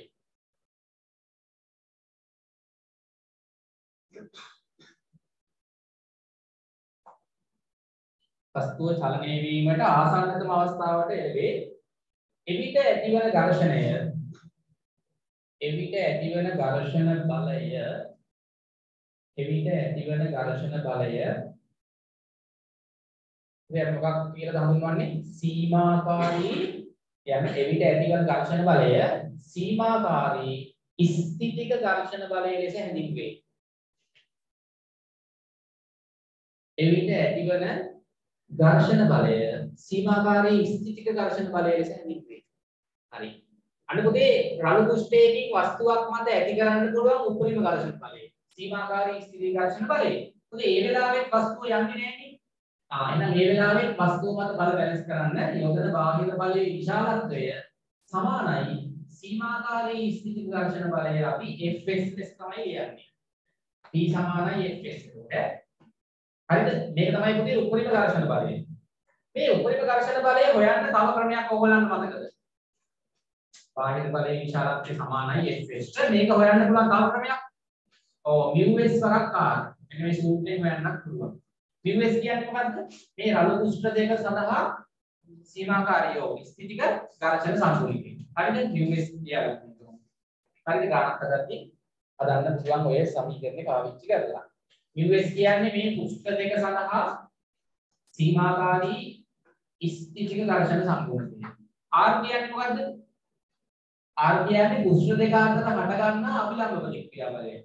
හරි μs කියන්නේ සීමාකාරී ස්ථිතික ඝර්ෂණ සංකේතය. R කියන්නේ පුෂ්ඨ දෙක අතර ඇතිවන අභිලම්බ ප්‍රතික්‍රියා බලය. මේ සිනස් බල සමතුලිත කරාම R mg ට සමානයිනේ. හරි. ඊට පස්සේ පුතේ තවත් අපි බලේ බාහිර බලය වැඩි කරොත් මොකද වෙන්නේ තවත්? හරිද? දැන් මේ නිව්ටන් 10ක් වෙද්දි මේක නිව්ටන් 10ක් වුණා හරි. තව චුට්ටක් හරි බලය වැඩි කරොත් දැන් ඝර්ෂණ බලය තව වැඩි වෙන්න බෑ. ඒ උපරිමාගයට දැන් ඇවිල්ලා තියෙන්නේ තව චුට්ටක් හරි මේ බලය වැඩි කරපු ගමන් මෙයා මොනවා වෙන්න ගන්නවද? මේ පැත්තට යන්න ගන්නවා. එතකොට යන්න ගත්තට පස්සේ ඝර්ෂණ බලය නැති වෙනවද? නැති වෙනවා. හරි මොකද වෙන්නේ ඉතින් පස්සේ? අර මුලින් පුතේ දැන් මේක චලනය වෙනකම් පොඩ්ඩක් බදලා තිබ්බ නේද? මේ රළු දෘෂ්ටයයි මේ වස්තුවයි බදලා තිබ්බනේ. චලනය වෙන්න ගත්තට පස්සේ චුට්ටක් මොකක් වෙන්න ගන්නවද? අර බදලා තියෙන ගතිය අඩුවන නිසා ඝර්ෂණ බලය චුට්ටක් මොකද වෙන්නේ? අඩු වගයක් බවට පත් වෙනවා. හරිද? හරි ඒක P වලාගේ පුතේ තවත් වැඩි කරොත් නේද? ඒ කියන්නේ P වලාගේ Fs එකක් වඩා වැඩි කරාම වෙන්නේ දැන් වස්තුව එතකොට කියන්නේ P විශාලයි Fs විට වස්තුව චලනය වෙන්න පටන් ගන්නවා. වස්තුව පුතේ චලනය වෙනවා කියන්නේ කෙලින්ම ත්වරණය කියන්නේ වස්තුව ත්වරණය වෙනවා අනිවාර්යයෙන්ම. වස්තුව ත්වරණය වෙයි. එතකොට මොකෙන්නේ? හරි මෙන්න රළු පුෂ්පය. එතකොට පුතේ ඝර්ෂණ බලය අපි ලකුණු කරන්නේ මොකක් කියලාද ඒක? වස්තුවක් රළු පුෂ්පයක් මත චලනය වෙද්දී හට ගන්නා ඝර්ෂණ බලය අපි හඳුන්වන්නේ Fa වලින්. මොකක්ද ඒකට කියන්නේ? ගතික ඝර්ෂණ බලය. මතකයි නේද? ඔව් ගතික ඝර්ෂණ බලය. මේ වෙලාවේ පුතේ අපි අභිලම්බ ප්‍රතික්‍රියා බලය R වස්තුවේ බල mg ස්කන්ධයෙන් වස්තුව යන ත්වරණය A අපි යොදලා තියෙන බලය දැන් P. ඔබ යන්නේ ටක්කාර. හරි. එතන මේ වෙලාවේ P කියනගේ FK ට වඩා ලොකුයි කොහොමද නේද? FS කට වඩා හරිද? P ලොකුයි. හරිද? මේ වෙලාවේදී වස්තුව මේක විතර කරන්නේ යන්නේ. මේ රළු දෘෂ්ටයේ මතත් FK ක්‍රියාව කොහොමද ක්‍රියාව හට ගන්නවනේ. හරි නේද? R එක හරි. රළු දෘෂ්ටයේ මතත් R එක එනවා. බලමු කරන්න අවශ්‍ය නැහැ. අර අපිට වස්තුව මත බලමින් විතරයි අවශ්‍ය වෙන්නේ. හරි. මේ වෙලාවේ ඔයගොල්ලන්ට මතකද මේ FK ඝර්ෂණ බලය හොයන්නත් සූත්‍රයක් තියෙනවා මතකද? UK වරක් R නේද? හරිද? ගතික ඝර්ෂණ බලය හොයන්න සම්බන්ධයකුත් තියෙනවා. ඒ කියන්නේ ඕනම රළු පෘෂ්ඨ දෙකක් ගත්තාම ඒ පෘෂ්ඨ දෙක සඳහා මතක තියාගන්න ස්ථිතික ඝර්ෂණ සම්පූර්ණකයකුත් තියෙනවා. ගතික ඝර්ෂණ සම්පූර්ණකයකුත් තියෙනවා. ඒ වගේම ඇති වෙන්න පුළුවන් උපරිම ඝර්ෂණ බලයක් තියෙනවා Fs තලයක්. ඒ වගේම මේ පෘෂ්ඨ දෙක චලනය වෙද්දී එකක් මත අනික ඇති වෙන ගතික ඝර්ෂණ බලයක අගයකුත් තියෙනවා. මතක තියාගන්න. ඕකේ සාමාන්‍යයෙන් මම කිව්වා අර Fs වගේ විශාලයි Fk ට වඩා. ඒක පොඩ්ඩක් ලියා ගන්න. Fs ට Us R දැන් නැහැකි. Fk ට Uk R දැන් නැහැකි. හරි මම ඉක්මනට පොඩ්ඩක් මතක් කරලා යන්නම්. කලින් ඔයගොල්ලෝ තීරිය වලින් දිනවනේ. ඉතින් එතනින් අපිට කිව්ව හැකි Us අගේ මොකක් වෙනවද? mu k ට වඩා ලොකුයි. මේ කිසියම් පුෂ්ඨ දෙකක් සඳහා mu s අගයක්ත් තියෙනවා mu k අගයකුත් තියෙනවා. කවුද ලොකු? mu s අගය. සාමාන්‍යයෙන් කිසියම් රළු පුෂ්ඨ දෙකක් සඳහා mu s අගය 0.5ක් වගේ වෙද්දී mu k අගය 0.4ක් වගේ තමයි වෙන්නේ. පොඩි වෙනසක් තියෙනවා. හරි. දැන් මේ වෙලාවේදී දැන් වස්තුවට අපිට x සමානයි මේ දැන් මෙහෙ දාන්න. වස්තුවට x සමානයි මේ. x සමානයි මේ. යන පැත්තට තියෙන බල ධන ප්‍රතිවිරුද්ධව තියෙන බල ඍණ. ස්කන්ධයෙන් කරන්නේ පිටින් කරන්නේ වාගන්න පුළුවන්. හරි. ඉතින් අපි ප්‍රස්තාරය ඇඳලා ගණන් වලට එමු. මට ප්‍රස්තාරයක් ටක් ගාලා ඇඳලා දෙන්න මේකේ. බාහිර බලයයි ඝර්ෂණ බලයයි වෙනස් වෙන ප්‍රස්තාර. නේද? බාහිර බලයයි ඝර්ෂණ බලයයි වෙනස් වෙන ප්‍රස්තාරය. අනිත් වස්තුව මත අපි යොදන බාහිර බලයත් එක්ක ඝර්ෂණ බලය වෙනස් වෙච්ච ප්‍රස්තාරය. අටගලා දිමු. ඝර්ෂණ බලය පුතේ ගන්න y අක්ෂික ඝර්ෂණ බලය නිව්ටන් x අක්ෂික ගන්න අපි යොදපු බාහිර බලය මේක පොඩ්ඩක් මතක තියාගන්න බාහිර බලය නේ p වස්තුව මත අපි යොදන බාහිර බලය p ඝර්ෂණ බලය f0 කියලා ගන්නවා මොකද තේරුනේ බාහිර බලයේ බිඳුවක් නම් ඝර්ෂණ බලයක් බිඳුවයි. නේ? බාහිර බලයේ නිව්ටන් එකක් වෙද්දී ඝර්ෂණ බලයක් එකයි. බාහිර බලයේ නිව්ටන් පහක් වෙද්දී ඝර්ෂණ බලයක් පහයි. මේක 10ක් වෙද්දී යන්න වස්තුවේ යන්න ඕන වෙන අවස්ථාවට එනවා. එතකොට ඝර්ෂණ බලයේ Fs නේද? උපරිමගයට එනවා. මොකක්ද මේ අවස්ථාවේ? ඈ y සමානයි x ප්‍රස්ථාවේ. හරිම ඉතින් යන එකක් දෙන්නේ. හරිද? ඔව් මෙතන කෝණේ අංශක 45යි මේකත් 45යි. හරි ඔක උදේ Fs ට එනකම් කොහොම වෙනවා?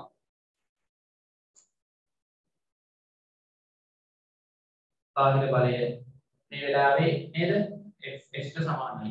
මේක අංශක 45ක් වුණා දාගන්න හරි වැඩි කියන්නේ මොකද x කණ්ඩායමකට y කණ්ඩායම සමානයි හරි. දැන් තවදුරටත් පුතේ බාහිර බලය වැඩි කරොත් මොකද වෙන්නේ? දැන් මේක 10යි මේක 10යි 9 දෙකක් දාන්න නිව්ටන් නම් ගත්තා කියන්නේ. හරිනේ? නිව්ටන් 10 මෙතන මේක නිව්ටන් 5ක් වුණා නම් ඝර්ෂණ බලයත් 5යි. ඒ අපි යොදන බලය 5ක් වෙද්දී ඝර්ෂණ බලයත් නිව්ටන් 6යි. හරිනේ? හරියට තේරුම් ගන්න. 10ක් වෙද්දී 10යි.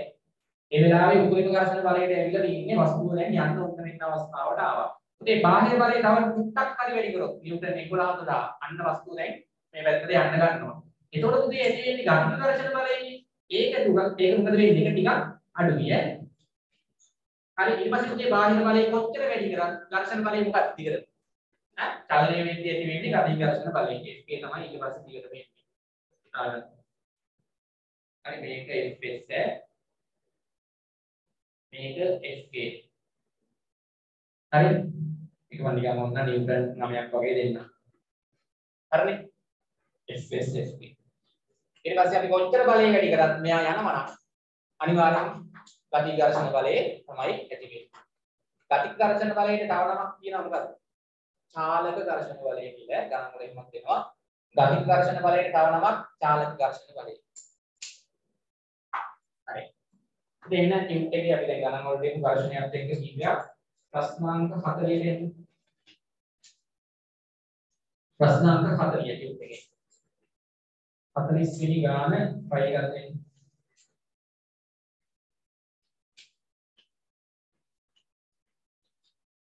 පිටව කරන්න චක්ක කරලා ප්‍රශ්නාංක 40 ඉස්සල රූපයක් ඇඳලා බල් ටික ලකුණු කරගන්න.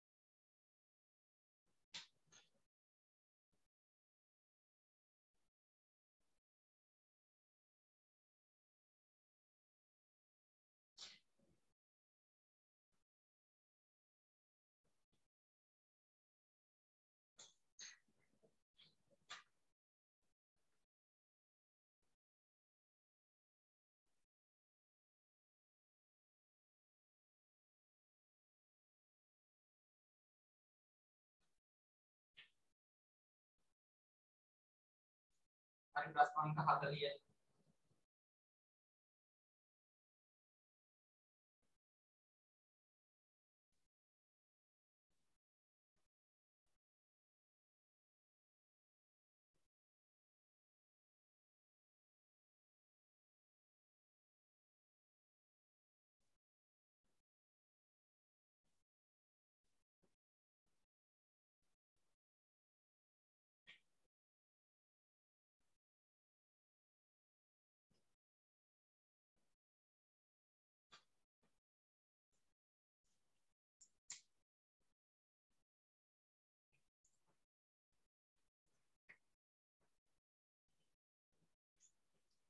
හරි. මේසයක් මත නිශ්චලව ඇති ස්කන්ධයේ කිලෝග්‍රෑම් 12ක් වන වස්තුවක් මත නිව්ටන් 50ක බලයක් තිරස් වේදී ඝර්ෂණ සංගුණකය. ඒ වගේ ගාවක එතන නේ ස්ථිතික ඝර්ෂණ සංගුණකයේද නැත්නම් ගතික ඝර්ෂණ සංගුණකයේද කියලා කියලා නැහැ. හැබැයි අපිට ඒක තේරුම් ගන්න පුළුවන්. මෙතන වස්තුව චලනය වෙනව නේද? නේ වස්තුව චලනය වෙන ගානක් වෙන්නේ නම් ගතික ඝර්ෂණ සංගුණකය. හතරෙන් එක නියුක්ලේ. නම් තත්පර 15කදී වස්තුවට අයත් වන ප්‍රවේගයේද වස්තුව ගෙවා යන දුරට සොයන්න. හරිද? හරි ඊළඟ අරක් හදන්න. හරි මම 40 හදන්නම්. හරි දැන් මේ තියෙන රළු පුෂ්ඨයක් නේ. රළු තිරස් පුෂ්ඨයක් ඈ. රළු තිරස් පුෂ්ඨයක්. මේසයක් මත නිශ්චලව ඇති ස්කන්ධය කිලෝග්‍රෑම් 12ක ස්කන්ධයක් වෙන්න. තලු මේස කුෂ්ඨයක් මත ස්කන්ධ කිලෝග්‍රෑම් 12ක වස්තුවක් කියලා තියෙනවා. බල ටිකක් කරන්න. බර 120යි අභිලම්බ ප්‍රතික්‍රියා බලය හරි. අපි නිව්ටන් 50ක බලයක් මෙයා මත යොදනවා දිගටම. භාවිත බලය නිව්ටන් 50යි. නේද? ඔව් ඝර්ෂණ සංකේතයේ ඔගේ ඔය කියලා තියෙන්නේ නිව්කේ හතරෙන් එකයි. හතරෙන් එකයි නිව්කේ. හරිනේ? තප්පර 15කදී මේ b සමානයි බිඳුවනේ. ඔව්. ඉතින් මෙයා තප්පර 15ක් චලනය වුණා නම් නේ. තලු කුෂ්ඨයක් නේද? එහෙනම් අනිවාර්යයෙන්ම ඝර්ෂණ බලය Fk නේ. තලු කුෂ්ඨයක් මත වස්තුව චලනය වෙද්දී ඝර්ෂණ බලය Fk. ගතික ඝර්ෂණ බලය තමයි ඇති වෙන්නේ. මේ රළු කුෂ්ඨයෙන් මෙයා මෙහාට යද්දී ඝර්ෂණ බලය මෙහාට හරිනේ. තප්පර පුදේ 15ක් චලනය වුණාම තප්පර 15ක් චලනය වෙලා මෙයා ගියේ දුර නේද x කියලා නම් දාගන්න x හරි මෙන්න එතකොට ඒ ඝර්ෂණ බලය තියෙනවා දිගටම නේද අපි උදර බලය දිගටම තියෙනවා නිව්ටන් 50 බල තියෙනවා දිගටම ඒ බල වෙනස් වෙන්නේ නැහැ අභිලාභ ප්‍රතික්‍රියා බලයක් දිගටම තියෙනවා. හරිද? තප්පර 15ක් තුළ වස්තුව ගෙවා ගිය දුරයි වස්තුවේ අන්න මෙතන දෙද්දි ප්‍රවේගයෙන් අවසාන ප්‍රවේගය තප්පර 15ක් වෙයි. හරි. ඉතින් ඉස්සෙල්ලාම දැන් මේකේ ඔයගොල්ලන්ට අර ගතික ඝර්ෂණ බලයෙන් හොයා ගන්න වෙනවා ගානක් ගත්තේ. කොහොමත් R 120ට සමානයි. සිරස් බල සලකලා වස්තුව මත R 120යි කියලා හොයා ගන්න පුළුවන්. R 120. ඊට පස්සේ FK සමානයි UKR දාලා ගතික ඝර්ෂණ බලය හොයා ගන්නත් වෙනවා. මියුගේ 4න් 1යි. දශම ගණන් ඕනේ. මියුගේ 4න් 1යි. R 120. ගතික ඝර්ෂණ බලය 120 4න් ගැටුවාම නිව්ටන් 30යිද? නේ මේ වස්තුව මත ක්‍රියාත්මක වන ගතික ඝර්ෂණ බලය නිව්ටන් 30යි. එකක් ගන්නවා. ඊට පස්සේ පුතේ අපිට යන තරණය හොයන්න මේ මෙහා මෙහාට යන තරණයක් තියෙනවානේ x සමානයි m ගන්න x සමානයි m ගන්න ඔව් යන පැත්තට බල දාන fa 30යි මේ ප්‍රතිවිරුද්ධ චින බලයක් ඉන්නේ එයා පැත්තට බල දාන 50 වෙන 30 නේද ස්කන්ධයේ 12යි තරණය මෙතන කියන්නේ ඉස්ස වෙනීම 12 දෙන්නේ විස්ස වැඩිම 10යි කරන්නේ. ඔව්. සරල කර පහ යට තුනයි. ඒක ඔබ තියාගන්න දශම කරන්න ඕනේ. පහයට තුනයි. හරි. දැන් පුතේ චල සමීකරණයක් දාන්න. යොමු ගන්නවා බිඳුව නිශ්චලතාවයෙන් පටන් ගත්තේ. කාලය තත්ත්ව 15යි තරගේ ගන්නවානේ s සහ v. දාන්න v සමාන යොමුනේ b සමාන යුගලයේ දැම්මොත් b යුගයේ u බිඳුවයි තොරණය පහ බෙදීම 3යි t e තප්පර 15යි හරිනේ උතනින් 15යි 3යි කැපුණාම 25යි 25යි හරිනේ තුන තුනක් එකයි 15ට තුනක් පහයි පසරතා 25යි නේ අවසාන ප්‍රවේගයේ තප්පරයට මීටර 25යි තප්පරයට මීටර 25යි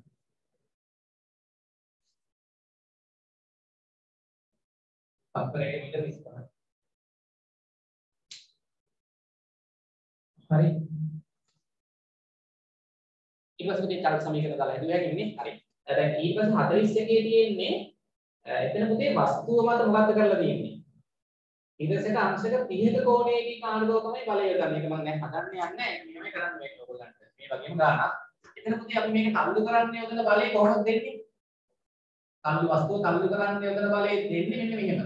තිරසත් එක්ක අංශක 30ක කෝණයකින් ආර්ථක. මේ වගේ වෙලාව ඉස්සෙල්ලා මොකද්ද කරන්න වෙන්නේ එතකොට?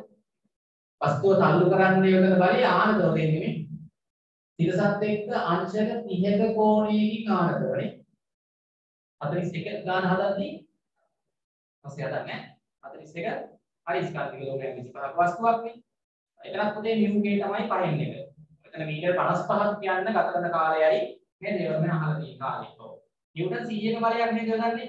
ඉතින් මෙතන ඉස්සෙල්ලාම ඕගොල්ලන්ට මොකක් කරන්න වෙනවද? මේ නිව්ටන් 100ක ආනත බලය විභේදනය කරන්න වෙනවා අංකෙකනේ. මේ පැත්තට එන්නේ 100යි cos 30. CI cos තිය. CI cos අංශක තිය. මේ පැත්තට එන්නේ CI sin තිය. CI sin තිය. හරි තේරෙනවද? විභජනය කරගන්න ඒ ගාන පස්සේ හදන්නේ නැහැ. හරි. මේකෙත් පුතේ FK සමානයි UKR දාලා ගතික කරසන බලය හොයන්න වෙනවනේ. මේකේ R දෙන්නේ කීයද? මේ වස්තුවේ ස්කන්ධයේ කී දෙයක තියෙන්නේ? කිලෝග්‍රෑම් 25ද? ඔව්. ඒ කියන්නේ මේකේ බර කීයද? 250 නේ. ඊළඟ ගානේ වස්තුවේ ස්කන්ධේ කිලෝග්‍රෑම් 25 නේ. පුතේ මේකේ R 250ට සමාන වෙන්නේ ඇයි? සිරස් බල සම්පූර්ණ කරාම පුතේ මෙන්න මේ බලෙත් වෙනවා නේ. ඉහළට බල සමාන කරන්නේ පහළට බල වලටනේ. ඔය දැන් පුතේ මෙන්න මේ බලෙත් වෙනවා. මේ සංරචනෙ මේ CI sin θ කියන්නේ කීයද? sin θ කියන්නේ භාගයයිනේ. CI sin θ කියන්නේ CI දෙකෙන් දෙකයි. 50යි නේ. ඔව්. අන්න පුතේ මේ පැත්තේ 50කුත් තියෙනවා 250කුත් තියෙනවා. එහෙනම් R කීයද? 300ක් වෙනවා මේකේ. මේකේ R 300. හරිද? මේකේ R 300. විවේදනය කරලා ගත්තී පොඩ්ඩක් මතක තියාගන්න. මේ පැත්තට තියෙන බලෙන් තමයි පුතේ මෙහාව මෙහාට තල්ලු වෙන්නේ. එතකොට CI cos මූල 3ට දෙකයිනේ. එතකොට 50යි මූල 3යි එන්නේ. ඊට පස්සේ FK හොයාගන්න ඊට පස්සේ x සමානයි මේ දාලා ධර්මය හොයලා ගන්න. හරිද? හොඳයි. ඊළඟට එන්න ප්‍රශ්න අංක හරි. ඔව්. 42 හතලිස් දෙක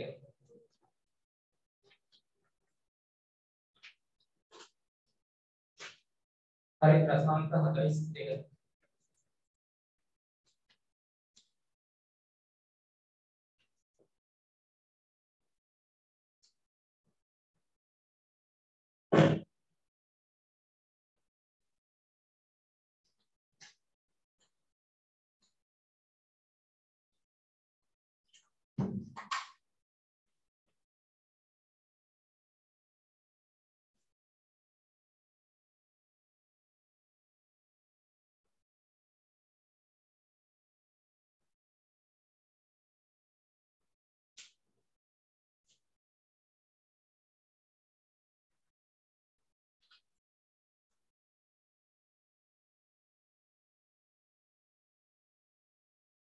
42 හරිද? ඒකේ අඩ්වාන් හරියකටෙන් තප්පරයේද මීටර 2ක ප්‍රවේගයෙන් ගමන් කරන වාහක පටියක් මතට කිලෝග්‍රෑම් 50ක සිමෙන්ති කොට්ටයක් හෙළනු ලැබේ. කිලෝග්‍රෑම් 50ක සිමෙන්ති කොට්ටයක් හෙළනු ලැබේ. තප්පර දෙකක කාලයකදී එය පටියේ වේගය අයත් කරගනී. එක සිමෙන්ති කොට්ටේ මත ඇති වූ බලයේ විශාලත්වය සොයන්න. එතකොට මේ වගේම දැකලා තියෙනවා ඔය සමහරවල් කර්මාන්ත ශාලාවල නේද නිෂ්පාදනය කරන භාණ්ඩ එක තැනක ඉඳන් තව තැනකට යවන්න මේ වගේ වාහක පටි පාවිච්චි කරනවා. එතන වාහක පටි කොහොමද කරකවන්නේ? ඈ මෝටර දාලානේ මෝටර දාලා අර පුලි කප්පි සෙට් කරලා වාහක පටි දිගටම මේ ඉඳන් ගොඩක් දුරට යනකම් මේ යවා ගන්න පුළුවන්. හරිද? මේ වගේ වාහක පටියක් වෙන්න එකක් යන්නේ පුලි මතින් තමයි යන්නේ මෝටරයක් මගින් තමයි මේ කරකවන්නේ. රූපේ පොඩ්ඩක් ඈත ගන්නකො වාහක පටි තියෙන විදිය මෙහෙම.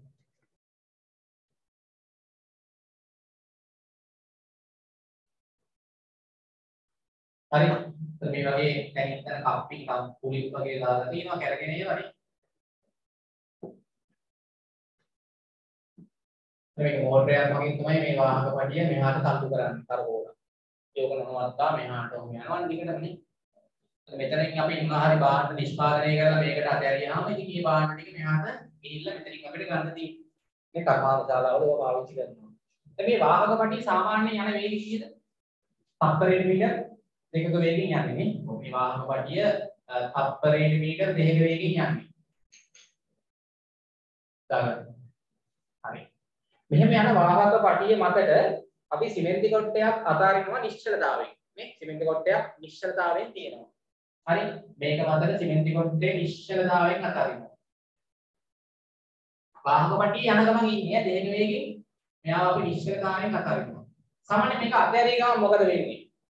මේ වාහක පටිය සුමටුනොත් මොකද වෙන්නේ? මේ වාහක පටිය සුමටුනා නම් මොකද වෙන්නේ? මේ සිමෙන්ති කොටේට ඉස්සරහට යන්න හම් වෙන්නේ වාහක පටියත් එක්ක. ඇයි ඒ? සුමටුනොත් මොකද වෙන්නේ? ලිස්සල යනවානේ. වාහක පටිය ලිස්සල යනවා. සිමෙන්ති කොටේට මෙහාට යන්න හම් වෙන්නේ වාහක පටියත් එක්ක. මොකද මෙහාට යන්න බලයක් නැහැනේ. නේද? ඒ බලය හදාගන්නේ මොකෙන්ද? ඝර්ෂණය. දැන් මේ වාහක පටිය රළු එකක්. හරිද? ඒකට පුතේ දැන් මේක අතෑරිය ගමන් නිකන් මෙයා නිකන් පස්සට ලිස්සන්න හදනවා නේද? හරිද? අපි සාමාන්‍යයෙන් යන ඔය වගේ බෙල්ට් එකකට අපි ගොඩ වුණාම අපිව සාමාන්‍යයෙන් නිකන් ලිස්සන් හදන්නේ මොන පැත්තටද? පටියේ යන පැත්තට ලිස්සයිද අනිත් පැත්තට ලිස්සන් හදයිද? සාමාන්‍ය යන පටියකට අපි පැන්නොත් අපිව ලිස්සන්න හදන්නේ අනිත් පැත්තට. හරිද? පටිය යන පැත්තට නෙමෙයි අනිත් පැත්තට ලිස්සන්න හදන්නේ. අන්න පුතේ අනිත් පැත්තට සාපේක්ෂ කලකේ ඇති වෙද්දී ඊට ප්‍රතිවිරුද්ධව මොකක් හට ගන්නවද? මේ සිමෙන්ති කොටේ පුතේ අතෑරිය ගමන් මෙහාට ලිස්සන්න හදන්නේ. පටිය යන පැත්තට ලිස්සන්නේ නැහැ. එහෙම මෙතන පඩිය යන පැත්තට ලිස්සන්නේ නැහැ පුතේ. අනිත් පැත්තට ලිස්සන්න හදද්දිම වාහක පඩියේ මොකක් ඇති වෙනවද? ඝර්ෂණ බලයක් ඇති වෙනවා මේ පැත්තට. මෙන්න පුතේ ඝර්ෂණ බලය. අහු කරගන්න. සිමෙන්ති කොටේ වල පඩියෙන් ඇතිවන ඝර්ෂණ බලය. සිමෙන්ති ඔගේ ප්‍රතික්‍රියාව සිමෙන්ති කොටේ පඩිය මත පුතේ මේ පැත්තට. සිමෙන්ති කොටේ පඩිය මත මේ පැත්තට. පඩියෙන් සිමෙන්ති කොටේ මත මේ පැත්තට. ඒ වගේ වෙලාවක මෝටරේට මොකද්ද දැනෙන්නේ? ඈ මෝටරේට ටිකක් අමාරුයි. ඇයි ඒ? මෝටරේට දැන් මේක මෙහාට තල්ලු කරන්න පුතේ පඩිය. එතකොට පුතේ මේ පඩිය මත අමතර බලයක් මෙහාට එනවා. එතකොට මෝටරෙන් ඒක මැඩ පවත් ගන්නත් බලයක් යොදන්න ඕනේ. හරි මෝටරේට ටිකක් හයියෙන් කරකවන්න වෙනවා එතකොට. නැත්තම් ස්ලෝ වෙනවා ඈ. හරිද? ටිකක් වැඩි ශක්තියක් වැය කරන්න වෙනවා එතකොට. සිමෙන්ති කොටේ දාලා තල්ලු කරද්දි නිකන් යනවට වඩා අනේ. හරි. දැන් මේ වෙලාවේ පුතේ නාටනාත් බල අභිලම්බ ප්‍රතික්‍රියා බලය ආ. සිමෙන්ති කොටේ බල නිව්ටන් 500යි. ඕනේ. කිලෝග්‍රෑම් 50යි නේ. මේකේ R එකක් කීයද 500යි. සිරස් බල බැලන්ස් කරන්න. සිරස් බල බැලන්ස් කරලා R 500යි. හරි. දැන් පුතේ මේක නිශ්චලතාවයෙන් අතහැරලා සාමාන්‍ය තප්පර කීයක් ගියාලුද පටියේ වේගයට එන්න. පටියේ මුලින්ම තිබ්බ වේගයට එන්න. මොකද මේක දාපු ගමන් පුතේ ස්ලෝ වෙනවා. මේක අතහැරීම ගමන් ස්ලෝ වෙනවා. නිශ්චලතාවයටපත් වෙනවා. තප්පර දෙකක් නේ. තප්පර දෙකක් ගියාට පස්සේ තමයි සිමෙන්ති කොටය පටියේ වේගයට ඇවිල්ලා තියෙන්නේ. සිමෙන්ති කොටය පටියේ වේගයට එනවා කියන්නේ දෙකක වේගයට එන්න ඕනේ. ඝර්ෂණ බලය F නෝට් R එක තියෙනවා බල 500යි හරිද? හරිද? එතකන් තප්පර දෙකක් යනවා පුතේ. ඒ කාලේ තුල මෙයා ගමන් කරන දුර S මේ ත්වරණය A. අග්ගල දාන්න x සමානයි මේ මොකක්ද අර දෙන්නේ? බලය නේද? රෝගිලක්කන් එක අනේ අපි ඉස්සෙල්ලාම පුතේ චතුර සමීකරණයක් දාලා තරණය හොයාගමු. v සමානයි u තරණය දාන්න. v 2යි u නිශ්චලතාවයෙන් අතහැරිය තරණය a t 2යි. තරණය එකයි නේද? දෙක දෙක බෙදුවාම එකයි නේද? ඔව්. ඉතින් කොටේ පුතේ ඔය තප්පර දෙක තුල ලබාගත් තරණය තප්පර වර්ගයේ මීටර එකයි. දැන් දාන්න පුතේ සිමෙන්ති කොටේට x සමානයි එන්නේ යන පැත්තට ඒ පැත්තට තියෙන එකම බලය F නෝට් සිමෙන්ති කොටේ මත සම්ප්‍රයුක්ත බලය. ඒ බලයේ ඝර්ෂණය තමයි ඒක ආවේ ස්කන්ධය 50යි තරණය එකයි කියන්නේ. නිව්ටන් 50යි හරි පටිය මගින් පෙට්ටිය මත යෙදෙන ඝර්ෂණ බලය කාලය සමගදී ඔයගොල්ලන්ට ඇදලා පෙන්වන්න පුළුවන්. තප්පර දෙකක් යනකම් මේ කාලයත් එක්ක මේ බලය කීයක්ද දෙකටම තප්පර දෙකක් යනකම් නිව්ටන් කීයද ඔය 50ක ඝර්ෂණ බලය තියෙනවා. ඒකේ පුතේ සපෝට් එකක් එන්නේ මේ වෙලාවේ නේ. ඒකේ පුතේ වස්තුවක් හැමතිස්සෙම යන පැත්තට ප්‍රතිවිරුද්ධව නෙවෙයි ඝර්ෂණ බලය ඇති වෙන්නේ. ඒක පොඩ්ඩක් මතක තියාගන්න. සාපේක්ෂ කලිතේ ඇති වෙන අතර ප්‍රතිවිරුද්ධව. තප්පර දෙකක් යනකම් ඝර්ෂණ බලය කීයද? නිව්ටන් 50යි නේ. හැමතිස්සෙම මතක තියාගන්න අපි වස්තුවක් යන අතට ප්‍රතිවිරුද්ධව කියන්න එපා ඝර්ෂණ බලය. කියන්නේ මොකද්ද? වස්තුවක් සාපේක්ෂ චලිතයේ ඇති වෙන්න හදන පැත්තට ප්‍රතිවිරුද්ධව. දැන් මේක මේකට අතහැරියාම මේ සිලින්ඩි කොටේ මේ පැත්තට චලනය වෙන්න හදන්නේ. ඉස්සක් හදන්නේ.